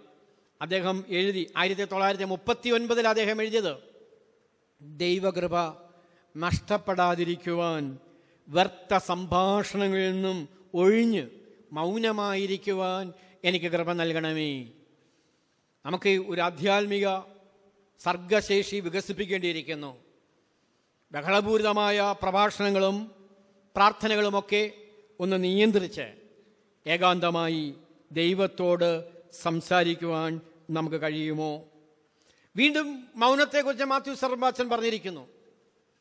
അദ്ദേഹം ആയിരത്തി തൊള്ളായിരത്തി നാൽപ്പത്തി എട്ടിലാണ് അത് എഴുതിയിരിക്കുന്നത്. അദ്ദേഹം പറഞ്ഞു മൗനം എന്ന് പറഞ്ഞാൽ ലോകത്തിന് മരിച്ച ഒരവസ്ഥയാണ്. എന്തൊരു സൂക്തമാണ് മൗനം എന്ന് പറഞ്ഞാൽ ലോകത്തിന് മരിച്ച ഒരവസ്ഥയാണ്. അതിനാൽ ആ അവസ്ഥയിലേക്ക് പ്രവേശിക്കുവാൻ എനിക്ക് ശക്തി നൽകണമേ. മാത്യു സർമ്പാച്ചൻ പ്രാർത്ഥിച്ചതാ. സർമ്പാച്ചന്റെ മൗനം എന്ന് പറയുമ്പോൾ നിശബ്ദമായിരിക്കുക എന്ന് മാത്രമല്ല ലോകത്തോട് മരിക്കുന്ന അനുഭവം ലോകത്തോട് മരിച്ച ഒരു അനുഭവം എനിക്ക് പകരണമേ എന്നാണ് അദ്ദേഹം പറഞ്ഞത്. ദീർഘമായ ദീർഘമായ വിവരണങ്ങൾ മൗനത്തെക്കുറിച്ച് അദ്ദേഹം പറയുന്നുണ്ട്. അതുകൊണ്ട് അദ്ദേഹം തന്നെ വെളിപ്പെടുത്തുന്ന ഒരു കാര്യമുണ്ട്. റംബാൻ എന്ന് പറയുന്നത് ലോകത്തിന് മരിക്കുന്ന ആളാണ്. മത്യു റംബാച്ചന്റെ കാഴ്ചപ്പാടിൽ പിന്നെ റംബാച്ചൻ ലോകസഞ്ചാരം നടത്താൻ പറ്റത്തില്ല.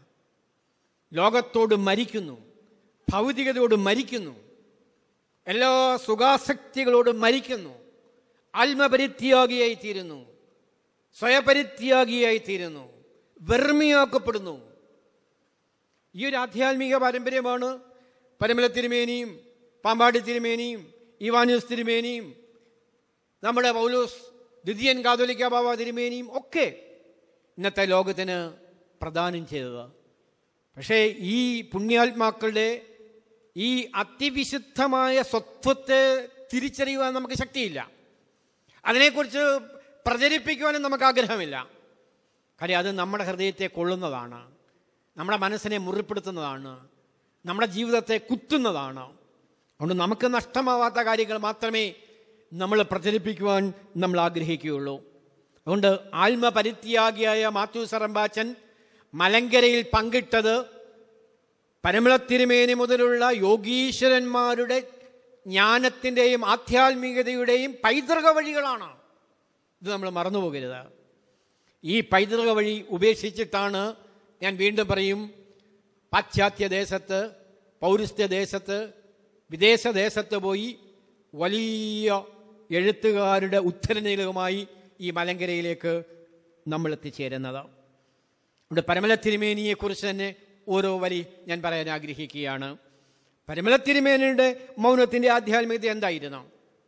ഞാൻ ഓർപ്പിക്കുകയുണ്ടായി എം പി വർക്കി പരമല തിരുമേനയുടെ സമകാലികനായിരുന്നു.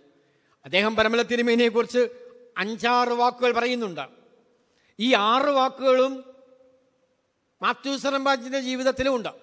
പാമ്പേടി തിരുമേനയുടെ ജീവിതത്തിലും ഉണ്ട്. ഇവാനൂസ് തിരുമേനയുടെ ജീവിതത്തിലും ഉണ്ട്. പൗലോസ് ദിദീൻ കാതോലിക്ക ബാബയുടെ ജീവിതത്തിലുമുണ്ട് ആ വാക്കുകൾ മാത്രം ഞാൻ പറയുകയാണ്. പാമ്പാടി തിരുമേനിയെക്കുറിച്ച് പറയുന്നത് പോലെ തന്നെ നമുക്ക് ഏത് തിരുമേനിമാരെക്കുറിച്ചും പറയാം. ഇവിടെ എം ബി വർക്കി പരമല തിരുമേനിയെക്കുറിച്ച് പറയുകയാണ്. കഠിനമായ ഉപവാസം നിരന്തരമായ പ്രാർത്ഥന ദീർഘമായ മൗനം ഇന്ദ്രിയ സംയമനം ധർമാചരണം ലളിത ജീവിതം.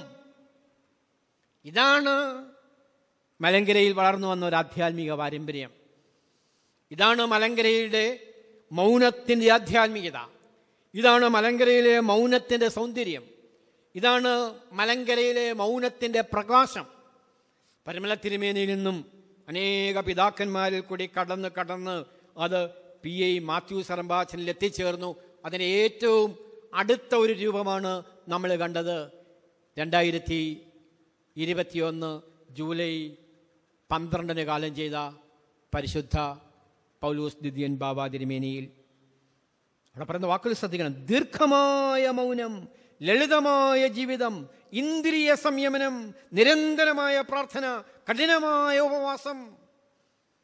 ഇതന്നെയല്ലേ പി ഐ മാത്യു സർമ്പാച്ചനുള്ളത് നീ പാമ്പാടി തിരുമേനിയെ കുറിച്ച് നമുക്ക് നോക്കാം. നമ്മുടെ ഈ പഠനത്തിലുള്ളതുകൊണ്ട് പാമ്പാടി തിരുമേനിയെക്കുറിച്ച് ഇറക്കിയൊരു പുസ്തകമാണ് ഇതിന്റെ അവതാരികയിൽ ഞാൻ തന്നെ എഴുതിയിട്ടുണ്ട്. അദ്ദേഹത്തിന്റെ ഒരു ഉദ്ധരണി എടുത്തുകൊണ്ടാണ് ഈ അവതാരിക ആരംഭിച്ചിരിക്കുന്നത് തന്നെ. വിശുദ്ധനായ താപസ തേജസ് എന്നാണ് പാമ്പാടി തിരുമേനിക്ക് ഞാൻ കൊടുത്ത തലക്കെട്ട. പാമ്പാടി തിരുമേനി ആയിരത്തി തൊള്ളായിരത്തി മുപ്പത്തി അഞ്ചിൽ കുന്നംകുളത്ത് പ്ലേഗ് ബാധ ഉണ്ടായപ്പോൾ ട്രെയിൻ കയറി അവിടെ എത്തി. ഇതിലെ രേഖകളൊക്കെ ഈ പുസ്തകത്തിലുണ്ടാകും അവിടെ എത്തി പ്ലേഗ് ബാധ ഉണ്ടായപ്പോൾ അവരോട് പാമ്പാടി തിരുമേനി പറയുക ഇന്ന് നമുക്കതിന്റെ ഒരു അവസ്ഥ അറിയാം. ഈ കോവിഡ് ബാധിതരായിരിക്കുന്ന ഈ ലോകത്ത് അന്നത്തെ ആയിരത്തി തൊള്ളായിരത്തി മുപ്പത്തി അഞ്ചിലെ പ്ലേഗ് ബാധയുടെ ഒരു പശ്ചാത്തലം ഊഹിച്ചെടുക്കാവുന്നതാണ്. ആരും ചെല്ലത്തില്ല ആരും അടുത്തു പോകത്തില്ല ഉള്ളവർ തന്നെ മാറിപ്പോവും. ഇന്നത്തെ ഏതാണ്ട് ഒരു കാലഘട്ടം പോണക്ക്. അവിടെ പാമ്പാടി തിരുമേനി ട്രെയിൻ കയറി അവിടെ എത്തിയിട്ട് അദ്ദേഹം അവരോട് പറയുകയാണ്. നിങ്ങളോടൊപ്പം ജീവിക്കുവാനും മരിക്കുവാനുമായിട്ടാണ് നാം വന്നിരിക്കുന്നത്. ആരും നിർബന്ധിച്ചിട്ടല്ല വന്നത്. നിങ്ങൾ മുട്ടിപ്പായി ദൈവത്തോട് അപേക്ഷിക്കുകയും മൂന്ന് ദിവസത്തെ ഉപവാസത്തിലും നോമ്പിലും കഴിയുകയും വേണം. ദൈവം ഈ മഹാവ്യാധിയെ നിങ്ങളിൽ നിന്ന് നീക്കം ചെയ്യും. പാമ്പാടി തിരുമേനയുടെ പ്രസംഗത്തിന്റെ ഉദ്ധരണി ഇതിന്റെ ആമുഖത്തെടുത്തി വെച്ചിട്ടാണ് ഇത് ഞാൻ വിശദീകരിക്കുന്നത്. നിങ്ങളോടൊപ്പം ജീവിക്കുവാനും മരിക്കുവാനുമായിട്ടാണ് ഞാൻ വന്നിരിക്കുന്നത്. ആത്മപരിത്യാഗിയായ ഒരു പിതാവിന് മാത്രമേ ഇത് പറ്റത്തുള്ളൂ. അല്ലെങ്കിൽ നമ്മളെ പോണക്ക് ഈ കോവിഡ് കാലഘട്ടത്തിൽ നമ്മൾ പെരയ്ക്കകത്തിരുന്ന് മാസ്ക് ധരിച്ച് സാനിറ്റൈസ് ചെയ്ത് പ്രാർത്ഥിച്ചുകൊണ്ടിരിക്കും. പാമ്പാടി തിരുമേനിയും പരിമല തിരുമേനിയും ഒക്കെ പരിമല തിരുമേനി പരിമലയിൽ നിന്നും തുമ്പോൺ പ്രദേശത്തും വസൂരി വന്നപ്പോൾ അവിടെ വന്ന് അവരോടൊപ്പം താമസിച്ചു. അവരുടെ ഭവനങ്ങളിൽ പോയി പ്രാർത്ഥിച്ചു. ഇത് മൗനത്തെയും സ്വന്തം ജീവിതത്തെയും സ്നേഹിക്കുന്നവർക്കല്ല. മൗനത്തെ പ്രണയിക്കുന്നവർക്കും സ്വന്തം ജീവിതത്തെ ത്യജിക്കുന്നവർക്കുമാണ് അത് ലഭിക്കുന്നത് എന്ന് ഓർത്തിരിക്കണം. ഈവാനൂസ് തിരുമേനിയെക്കുറിച്ച് ദീർഘമായ വിവരണങ്ങൾ ഞാൻ എഴുതിയിട്ടുണ്ട്. അദ്ദേഹത്തിന്റെ ഒരു പുസ്തകത്തിന്റെ പേര് തന്നെ വളരെ മനോഹരമാണ് ഞാനിവിടെ ചേർന്നിട്ടതാണ് നിർലേപം എന്നാണ് ആ പുസ്തകത്തിന്റെ പേര്. ആ വാക്കിന്റെ അർത്ഥം വളരെ വിവാദമുണ്ടായ ഒരു വാക്കാണ് ആ വാക്കിന്റെ അർത്ഥം ലേപനം ചെയ്യപ്പെടാത്തത് നിർലേപം ലേപനങ്ങളൊന്നുമില്ലാത്തത് വിശുദ്ധമായത് പരിശുദ്ധമായത് നൈർമല്യമുള്ളത് നിഷ്കളങ്കതയുള്ളത് നിർലേപം. ആ പുസ്തകത്തിൽ ദീർഘമായ ഒരു വിവരണമുണ്ട്. അദ്ദേഹത്തിന്റെ ക്യാൻസർ ബാധയെക്കുറിച്ച് അതുകൊണ്ടാണ് ആ പുസ്തകം നാലോ അഞ്ചോ എഡിഷൻ ഇറങ്ങിയിട്ടുണ്ട് ദീർഘമായ ഇന്റർവ്യൂവിൽ ഗീവരഗീസ് മാർ ഈവാനുസ് മെത്രാപ്പോലിത്തയോട് ഞാൻ സമാപനമായിട്ടൊരു ചോദ്യം ചോദിച്ചു. ജീവിതം അങ്ങേ എന്തു പഠിപ്പിച്ചു? അദ്ദേഹത്തെ അഭിമുഖം നടത്തുക എന്നൊക്കെ പറയുന്നത് ചെറിയ കാര്യമല്ല. ദീർഘമായ സംഭാഷണത്തിൽ സമാപനത്തിൽ ചോദിച്ചു ജീവിതം അങ്ങേ എന്ത് പഠിപ്പിച്ചു? ഒറ്റ വാക്കേ പറഞ്ഞുള്ളൂ. ഞാൻ ചോദിച്ചു ഇനി എന്തെങ്കിലും പറയാനുണ്ടോ? ഇതിൽ കൂടുതലൊന്നും പറയാനില്ല. ഇബാനോസ് തിരുമേനി പറഞ്ഞ വാക്കെന്താണെന്നറിയാമോ? ജീവിതം എന്നെ പ്രാർത്ഥിക്കുവാൻ പഠിപ്പിച്ചു. ജീവിതം എന്നെ പ്രാർത്ഥിക്കുവാൻ പഠിപ്പിച്ചു. ഇത് മൗനത്തിൽ കൂടി ഏകാന്തതയിൽ കൂടി ധ്യാനത്തിൽ കൂടി മനനത്തിൽ കൂടി ആർജിക്കുന്ന ആധ്യാത്മിക വിശുദ്ധിയാണ്. ഈ വിശുദ്ധിയുടെ പൈതൃക വഴികളാണ് പരമല തിരുമേനി മുതൽ പൗലൂസ് ദിദിയൻ ബാവ വരെ നമ്മൾ കണ്ടുമുട്ടുന്നത് എന്ന് ഓർപ്പിക്കുകയാണ്. ഞാൻ ആ ഭാഗം അവസാനിപ്പിക്കുകയാണ്. ആത്മപരിത്യാഗിയായ മാത്യൂസ് റംബാച്ചൻ എന്നുള്ളത് നമ്മൾ മറന്നു പോകരുത്. മൂന്നാമത് മാത്യൂസ് റംബാച്ചന്റെ മൗനത്തിന്റെ പ്രകാശം മൗനത്തിന്റെ സൗന്ദര്യം എങ്ങനെയായിരുന്നു എന്ന് ചോദിച്ചാൽ എന്റെ മൂന്നാമത്തെ ഉത്തരം മധുരഭാഷണം പകർന്ന മാത്യു സർമ്പാച്ചൻ. ആ വാക്ക് അദ്ദേഹം തന്നെ ഇട്ടതാ. മധുരഭാഷണം പകർന്ന് മാത്യു സർമ്പാച്ചൻ. എന്തൊരു സുന്ദരമായ വാക്കാ. മധുരമായ ഭാഷണം വാക്കുകൾ ഉപദേശങ്ങൾ സന്ദേശങ്ങൾ നൽകിയ മാത്യു സറമ്പാച്ചൻ ഞാൻ ഓർക്കുന്നുണ്ട്. മാത്യു സറമ്പാച്ചനെ ശ്രദ്ധിക്കുക എന്ന് പറഞ്ഞാൽ വളരെ പ്രയാസമാണ് തൊണ്ണൂറുകളിലും എൺപത്തിയേഴുകളിലും കഥയാണ് ഞാൻ പറയുന്നത്. അന്നത്തെ യൗവന പ്രായമാണ് കോളേജ് വിദ്യാഭ്യാസം കഴിഞ്ഞ സെമിനാരിയിൽ ചെന്ന് ഈ എറമ്പാസിനെയൊക്കെ കാണുന്ന അവസരമാണ്. എൺപത്തെട്ട് എൺപത്തൊമ്പത് തൊണ്ണൂറ് കാലഘട്ടം. പ്രത്യേകിച്ച് ആശ്രമത്തിലെ നഥേനയിൽ എറമ്പാച്ചന്റെ കൂടെ പഠിക്കുന്നവരെന്ന് കണ്ടപ്പോൾ ഞങ്ങളെല്ലാം പിടിച്ചിരുത്തിയിട്ട് ഉപദേശിക്കും. പക്ഷെ വളരെ പ്രയാസമാണ് ശബ്ദം കേൾക്കാൻ. കാതൊക്കെ ഇങ്ങനെ കൂർപ്പിച്ചിരിക്കണം. ഈ മനോസ് തിരുമയുടെ ശബ്ദം കേൾക്കാൻ വലിയ പ്രയാസമാണ് സോഫ്റ്റാ മാത്യു വാക്കുകൾ മധുരമൊഴികൾ കേൾക്കുവാൻ നമ്മുടെ രണ്ട് ചെവിയും കൂർപ്പിച്ച് തുറന്നിരിക്കണം. ഞാനൊരു കവിതാ സകലം ഓർക്കുകയാണ്. ഏതൊരു ഗാനത്തിലും മികച്ചത് ശാന്തതയിലുള്ള കിളിനാദമാണ്. എന്നാൽ ആദ്യം നിങ്ങൾക്ക് നിശബ്ദത ഉണ്ടായിരിക്കണം. എത്രയോ പാട്ടുകൾ നമ്മൾ കേട്ടു. നമ്മൾ കേട്ട ഗാനങ്ങളിലെ ഏറ്റവും മികച്ചത് നിശബ്ദതയിൽ നമ്മുടെ ചെവികളിൽ വന്ന് എത്തുന്ന കിളികളുടെ നാദമാണ്. ഈ നാദം ഈ പാട്ട് കേൾക്കണമെങ്കിൽ ആദ്യം നമുക്ക് നിശബ്ദത ഉണ്ടാകണം. മാത്യു സർമ്പാച്ചന്റെ വാക്കുകൾ കേൾക്കണമെങ്കിൽ നമ്മുടെ ജീവിതം നിശബ്ദമാവണം. ഇന്നർ ക്വയറ്റ്നസ് എങ്ങനെയത് ഭാഷാന്തരപ്പെടുത്താം? ആന്തരികമായ നിശ്ചലത. നമ്മളിൽ പലരും ഇവിടെയൊക്കെ ഇരിക്കുമെങ്കിലും നമുക്ക് നഷ്ടപ്പെട്ടു പോകുന്ന ഈ ആന്തരിക നിശ്ചലതയാണ് മനസ്സ് കലുഷിതമാണ് ഹൃദയം സ്പന്ദിക്കുക ഭാവിയെക്കുറിച്ച് ആശങ്കപ്പെടുകയാ ഈ കോവിഡ് മഹാമാരി ഓർത്ത് ഭയപ്പെടുകയാ. ആന്തരികമായ നിശ്ചലത. ഇന്നർ ക്വയറ്റ്നസ് മാത്യു സെറമ്പാച്ചൻ ബാഹ്യവും ആന്തരികവുമായി നിശ്ചലത അനുഭവിച്ചു. ഏകാന്തത അനുഭവിച്ചു. ആ സ്റ്റിൽനെസ് അനുഭവിച്ചു. ആ വാക്കാണ് കുറച്ചുകൂടെ. സ്റ്റിൽനെസ് ഏകാന്തത അനുഭവിച്ചു. അതുകൊണ്ട് മാത്യു സംഭാഷന്റെ മൗനം മൗനത്തിൽ കൂടി അക്ഷരങ്ങൾ രൂപപ്പെട്ടു എഴുത്തുകൾ രൂപപ്പെട്ടു. അതിൽ കൂടി ദൈവസംസർഗമുണ്ടായി. നോക്കണം അതൊരു രേഖീയമായ അനുഭവമാണ്. ചിലപ്പോൾ അത് ചാർക്കികമായി തീരുന്നുണ്ട്. മാത്യു സറമ്പാച്ചൻ ആന്തരിക നിശ്ചലത അനുഭവിച്ചു. മനസ്സും ശരീരവും ബുദ്ധിയും എല്ലാം നിശ്ചലമാക്കി ആ നിശ്ചലതയിൽ ദൈവത്തോട് സംസാരിച്ചു. ബഹളമില്ലാതെ ഏകാന്തമായി മൗനമായി നിശബ്ദമായി സംസാരിച്ചു. ലഭിച്ചിരിക്കുന്ന അരുളപ്പാടുകൾ അദ്ദേഹം എഴുതി മധുരഭാഷണമായി അദ്ദേഹം ഈ മധുരഭാഷണത്തിന് ഒരു ക്രമമുണ്ടാക്കിയിട്ടുണ്ട്. ഒന്ന് ദൈവത്തെ സ്തുതിക്കുക വേദപുസ്തകം വായിക്കുക പ്രാർത്ഥിക്കുക ആരാധിക്കുക അതുവഴി മൗനത്തിലേക്ക് എത്തിച്ചേരുക. അതുകൊണ്ട് മൗനം എന്ന് പറയുമ്പോൾ പ്രാർത്ഥനയും വേദവായനയും ഒക്കെ അവസാനിപ്പിച്ച് മൗനമായിരിക്കുക എന്നർത്ഥം ആരും വിചാരിക്കരുത്. ഞാൻ പറയും ലോകത്തുള്ള ബാഹ്യമായ ഇടപെടലുകൾ നിർത്തി ഏകാന്തമായി ദൈവത്തോട് സംസാരിക്കുക എന്നാണ്. ആയിരത്തി തൊള്ളായിരത്തി നാൽപ്പത്തി ഒന്നിൽ സെപ്റ്റംബർ പതിനൊന്നാം തീയതി മാത്യു സർബാച്ചൻ എഴുതി മധുരഭാഷണത്തിൽ നിന്നും മൗനവ്രതത്തിൽ നിന്നും ഒട്ടും ഉദാസീനത നീ പാലിക്കരുത്. അദ്ദേഹം എഴുതി പ്രാർത്ഥനയൊക്കെ കൂടുമ്പോൾ ജാഗരണമൊക്കെ കൂടുമ്പോൾ മധുരഭാഷണത്തിൽ നിന്നും മൗനവ്രതത്തിൽ നിന്നും ഒട്ടും ഉദാസീനത വരുത്തരുത്. അതുകൊണ്ട് ഞാൻ എന്റെ വാക്കുകൾ നിർത്തുകയാണ്. മധുരഭാഷണം പകർന്ന ഒരു ആധ്യാത്മിക മുനിയാണ് തേജസ്സാണ് ചൈതന്യമാണ് പ്രഭയാണ് പ്രകാശമാണ് ജീവോത്മാവാണ് പി ഐ മാത്യു സറമ്പാച്ചൻ.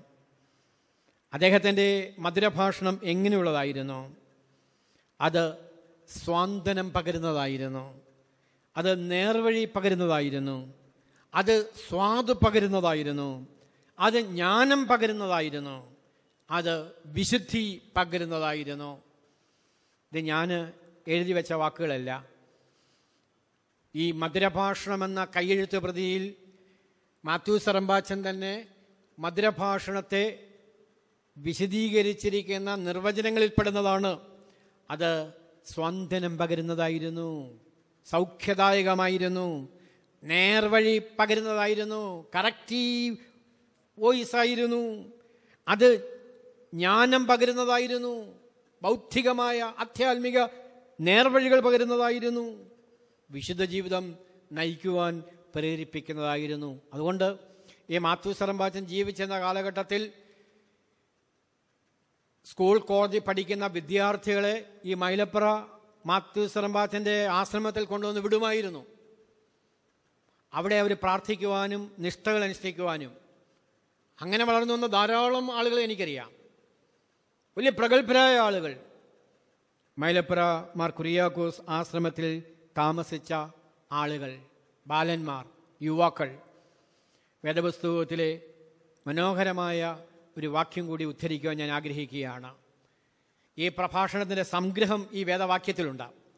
പരിശുദ്ധനായ പൗലോസ്ലിഹ കുരന്തിർക്കെഴുതിയ ഒന്നാം ലേഖനം ഇരുപത്തിയേഴ് മുതൽ മുപ്പത് വരെയുള്ള വാക്യങ്ങളാണ്. പൗലോസ്ലിഹ യേശുക്രിസ്തുവിനെ കുറിച്ച് പറയുന്ന കാര്യമാണ്. അതുവഴി പൗലോസ്ലിഹ ആഗ്രഹിക്കുന്നത് നമ്മളും അതുപോലെയായി തീരണം. എന്താണ് പൗലോസ്ലിഹ പറയുന്നത്? യേശുക്രിസ്തുവിന്റെ ജനനം ജ്ഞാനികളെ ലജ്ജിപ്പാൻ ദൈവം ലോകത്തിൽ പോഷത്വമായത് തിരഞ്ഞെടുത്തു. അത്യസർമാത്തിന്റെ ജീവിതത്തെ ചേർത്ത് പിടിക്കാമെങ്കിൽ ജ്ഞാനികളെ ലജ്ജിപ്പിക്കത്തക്ക വിധം ഈ ഭൗതികതയിൽ ലോകത്ത് ഭോഷത്വമായത് തിരഞ്ഞെടുത്തു. ഈ പുതിയ ലോകക്രമത്തിൽ മൗനമായിട്ടിരിക്കാൻ പറ്റുമോ? ഇതൊരു ഭോഷത്വമല്ലേ ബഹളം വെച്ച് വലിയ ആർഭാട പരമായൊരു ജീവിതക്രമമല്ലേ വേണ്ടത്? ഇതൊക്കെ ചിലരുടെ ചോദ്യമാണ്. ബലമുള്ളതിനെ ലജ്ജിപ്പിക്കുവാൻ ദൈവം ലോകത്തിൽ ബലഹീനമായത് തിരഞ്ഞെടുത്തു. മാത്യു സർമ്പാച്ചനെ മുന്നിൽ വരുമ്പോൾ നമ്മൾ ബലത്തിൽ സ്വപ്നം കാണുന്നവരാണ്. നമ്മൾ ജ്ഞാനത്തിൽ സ്വപ്നം കാണുന്നവരാണ്. പക്ഷേ ഫോഷത്വമായത് തിരഞ്ഞെടുത്ത മാത്യു സർമ്പാച്ചൻ ബലഹീനമായത് തിരഞ്ഞെടുത്ത മാത്യു സർമ്പാച്ചൻ പോലീസ് സ്ലേഹ പറയുന്നു ഉള്ളതിനെ ഇല്ലായ്മയാക്കുവാൻ ദൈവം ലോകത്തിൽ കുലഹീനവും നികൃഷ്ടവുമായ ഏതുമില്ലാത്തതും തിരഞ്ഞെടുത്തു. കുലഹീനമായത് നികൃഷ്ടമായത് ഏതുമില്ലാത്തത് ക്രിസ്തു തിരഞ്ഞെടുത്തു. നമ്മുടെ എല്ലാ ഗുരുക്കന്മാരും ഈ ഒരു ആധ്യാത്മിക മൂല്യമാണ് എടുക്കുന്നത്. അതുകൊണ്ട് പൗലോസ്ലിഹ ഇവിടെ അവതരിപ്പിക്കുന്ന ഈ ജ്ഞാനസിദ്ധാന്തം എന്ന് പറയുന്നത് ക്രിസ്തുവിലിരിക്കുന്ന അനുഭവമാണ് ഈ ആധ്യാത്മികത. ക്രിസ്തുവിലിരിക്കുന്ന അനുഭവമാണ് മൗനത്തിന്റെ സൗന്ദര്യം. മാത്യു സർമ്പാച്ചൻ യേശു ക്രിസ്തുവിൽ ക്രിസ്തുവിൽ ജീവിച്ച ഒരനുഭവം പ്രസരിതമാക്കിയതുകൊണ്ട് അദ്ദേഹത്തിന്റെ ജീവിതം മൗനത്തിന്റെ പ്രകാശമായി. ദീർഘനാൾ ദീർഘനാൾ മണിക്കൂറുകൾ മാസങ്ങൾ മൗനത്തിലിരുന്നപ്പോൾ അദ്ദേഹം ഒറ്റയ്ക്കല്ലായിരുന്നത്. അദ്ദേഹം സഞ്ചരിക്കുകയായിരുന്നു. ദൈവത്തോടൊപ്പം സഞ്ചരിച്ചു. ദൈവത്തോടൊപ്പം തീർത്ഥാടനം ചെയ്തു. നമ്മൾ ഓർക്കുന്ന ശാസ്താംകോട്ടയിൽ കബറടങ്ങിയ മാത്യൂസ് ദിദിയൻ ബാവാതിരുമേനി എല്ലാ പ്രസംഗത്തിലും പറയുന്ന വാക്കാണ്. നമ്മളൊരു തീർത്ഥാടകരാണ്. അതിന്റെ അർത്ഥം ഇവിടുന്ന് നേരെ അങ്ങ് തീർത്ഥാടനത്തിന് പോകുക എന്നുള്ളതാണ്. പ്രാർത്ഥനയിൽ മനനത്തിൽ ആരാധനയിൽ ആധ്യാത്മിക ശിക്ഷണത്തിൽ സർഗ ക്രിയകളിൽ നമ്മൾ ദൈവത്തോടൊപ്പം സഞ്ചരിക്കുന്നു. ദൈവത്തോടൊപ്പം സഞ്ചരിക്കുവാൻ നമുക്ക് കഴിയുന്നെങ്കിൽ അത് മൗനത്തിന്റെ പ്രകാശമായിരിക്കും. കേരളത്തിലെ തന്നെ വളരെ പ്രഗത്ഭരായി എഴുത്തുകാരുണ്ടാവും. അവരൊക്കെ മാസങ്ങളോളം നിശബ്ദതയിലായിരിക്കും. മാസങ്ങളോളം അവർ വേറിട്ടായിരിക്കും നിൽക്കുന്നത്. തിരിച്ചു വരുമ്പോൾ ഒന്നാം തരം സാഹിത്യ രചനകളുമായിട്ടാണ് പുറത്തു വരുന്നത്. നമുക്കെന്തുകൊണ്ടാണ് എഴുത്തില്ലാതെ പോയത്? നമുക്കെന്തുകൊണ്ടാണ് ഉജ്ജ്വല പ്രഭാഷണങ്ങളില്ലാതെ പോയത്? നമുക്കൊരു ശിക്ഷണം നഷ്ടപ്പെട്ടു പോയി. എന്ത് ശിക്ഷണമാണെന്ന് ചോദിച്ചാൽ ഞാൻ പറയും ഈ മൗനത്തിന്റെ ശിക്ഷണം നമുക്ക് നഷ്ടപ്പെട്ടു പോയി. അതുകൊണ്ട് മാത്യു സർമ്പാച്ചന്റെ ഈ ജീവിത പാഠം അനുഭവ പാഠം ആധ്യാത്മിക പാഠം മൗനത്തിന്റെ സൗന്ദര്യം മൗനത്തിന്റെ പ്രകാശം പുതുതലമുറയ്ക്ക് പാഠമായിരിക്കണം. നമ്മുടെ മുന്നിലെ വലിയ വെല്ലുവിളി ചോദ്യം ഇതാണ്. മാധ്യമങ്ങളും ഇന്റർനെറ്റും സൈബർ വേൾഡും ഉയർത്തുന്ന ബഹളപൂരിതമായ സംസ്കാരത്തിൽ മൗനത്തിലേക്ക് തിരിച്ചു വരുവാൻ നമുക്ക് കഴിയുമോ? ഇതൊരു ചെറിയ ചോദ്യമാണ്. ഇന്നത്തെ ഉത്തരാധുനിക ലോകം സൃഷ്ടിക്കുന്ന ആഗോളവൽക്കരണവും മാധ്യമ സംസ്കാരവും സൃഷ്ടിക്കുന്ന ഈ പുത്തൻ ലോകക്രമത്തിൽ മൈലപ്ര മാത്യു സറമ്പാച്ചൻ പകർന്ന മൗനത്തിന്റെ സൗന്ദര്യത്തെ ജീവിതത്തിലേക്ക് ചേർത്ത് പിടിക്കുവാൻ കഴിയുമോ? മൗനത്തിന്റെ ആധ്യാത്മികത സഭയിൽ രൂപപ്പെടുവാൻ കഴിയുമോ? മൗനത്തിന്റെ ആധ്യാത്മികതയ്ക്കനുസൃതമായ പദ്ധതികൾ ആവിഷ്കരിക്കുവാൻ കഴിയുമോ?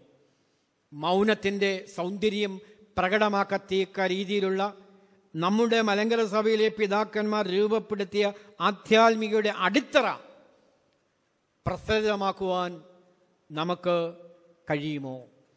ഈ കോവിഡ് വഴി കഴിഞ്ഞു വരുന്ന കോവിഡാനന്തര കാലഘട്ടത്തിൽ നമുക്കൊരു ബദൽ ആധ്യാത്മികത ലാളിത്യത്തിന്റെയും നൈർമല്യത്തിന്റെയും വിശുദ്ധിയുടെയും നീതിയുടെയും സത്യത്തിന്റെയും ഒരു ആധ്യാത്മികത നമുക്ക് വളർത്തിയെടുക്കുവാൻ കഴിയുമോ?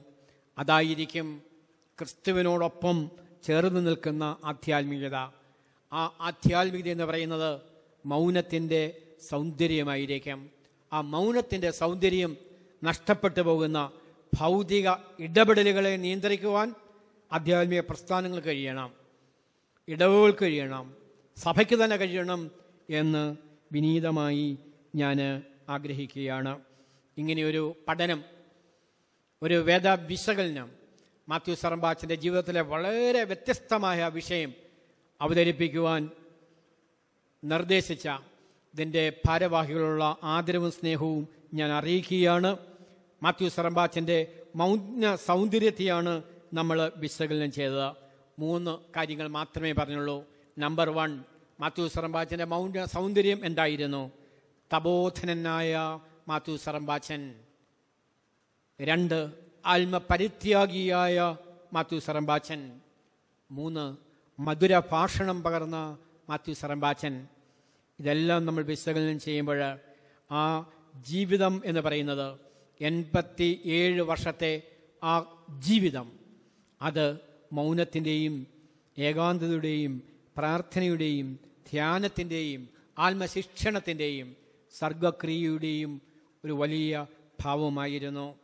അതുകൊണ്ട് ഈ മാത്യൂസ് റംബാച്ചന്റെ മൈലപ്ര ആശ്രമത്തിലെ സ്ഥാപകനും സുപ്പീരിയറുമായിരുന്ന വന്യ P S P I Mathews റംബാച്ചന്റെ ആ ഏകാന്തത മൗനം ധ്യാനം ഉപവാസം പ്രാർത്ഥന എന്നിവയിൽ കേന്ദ്രീകൃതമായ സന്യാസ ജീവിതത്തിന്റെ മുന്നിൽ ഞാൻ ശിരസ് നമിക്കുന്നു പ്രണാമം അർപ്പിക്കുന്നു. അദ്ദേഹത്തിന്റെ മുപ്പതാമത് ഓർമ്മ പെരുന്നാൾ നമ്മുടെ സഭയുടെ നവോമണ്ഡലത്തിൽ പുതിയ അർത്ഥതലങ്ങൾ സൃഷ്ടിക്കുവാൻ ക്രിസ്തുവിനോട് ചേർന്ന് നിന്ന് തീർത്ഥാടനത്തിൽ പങ്കുചേരുന്ന മൗനത്തിന്റെ സൗന്ദര്യം പ്രസൃതമാക്കി തീർക്കുവാൻ ഇടയാക്കട്ടെ എന്ന് പ്രാർത്ഥിച്ചുകൊണ്ട് അഭിമന്യരായ പിതാക്കന്മാർക്കും വന്യരായ എല്ലാ വൈദിക ശാസ്ത്രർക്കും വിശ്വാസ സമൂഹത്തിനും ആദരവ് സമർപ്പിച്ച് എന്റെ വാക്കുകൾ നിർത്തുന്നു. ദൈവം തമ്പുരാൻ നമ്മളെ അനുഗ്രഹിക്കട്ടെ.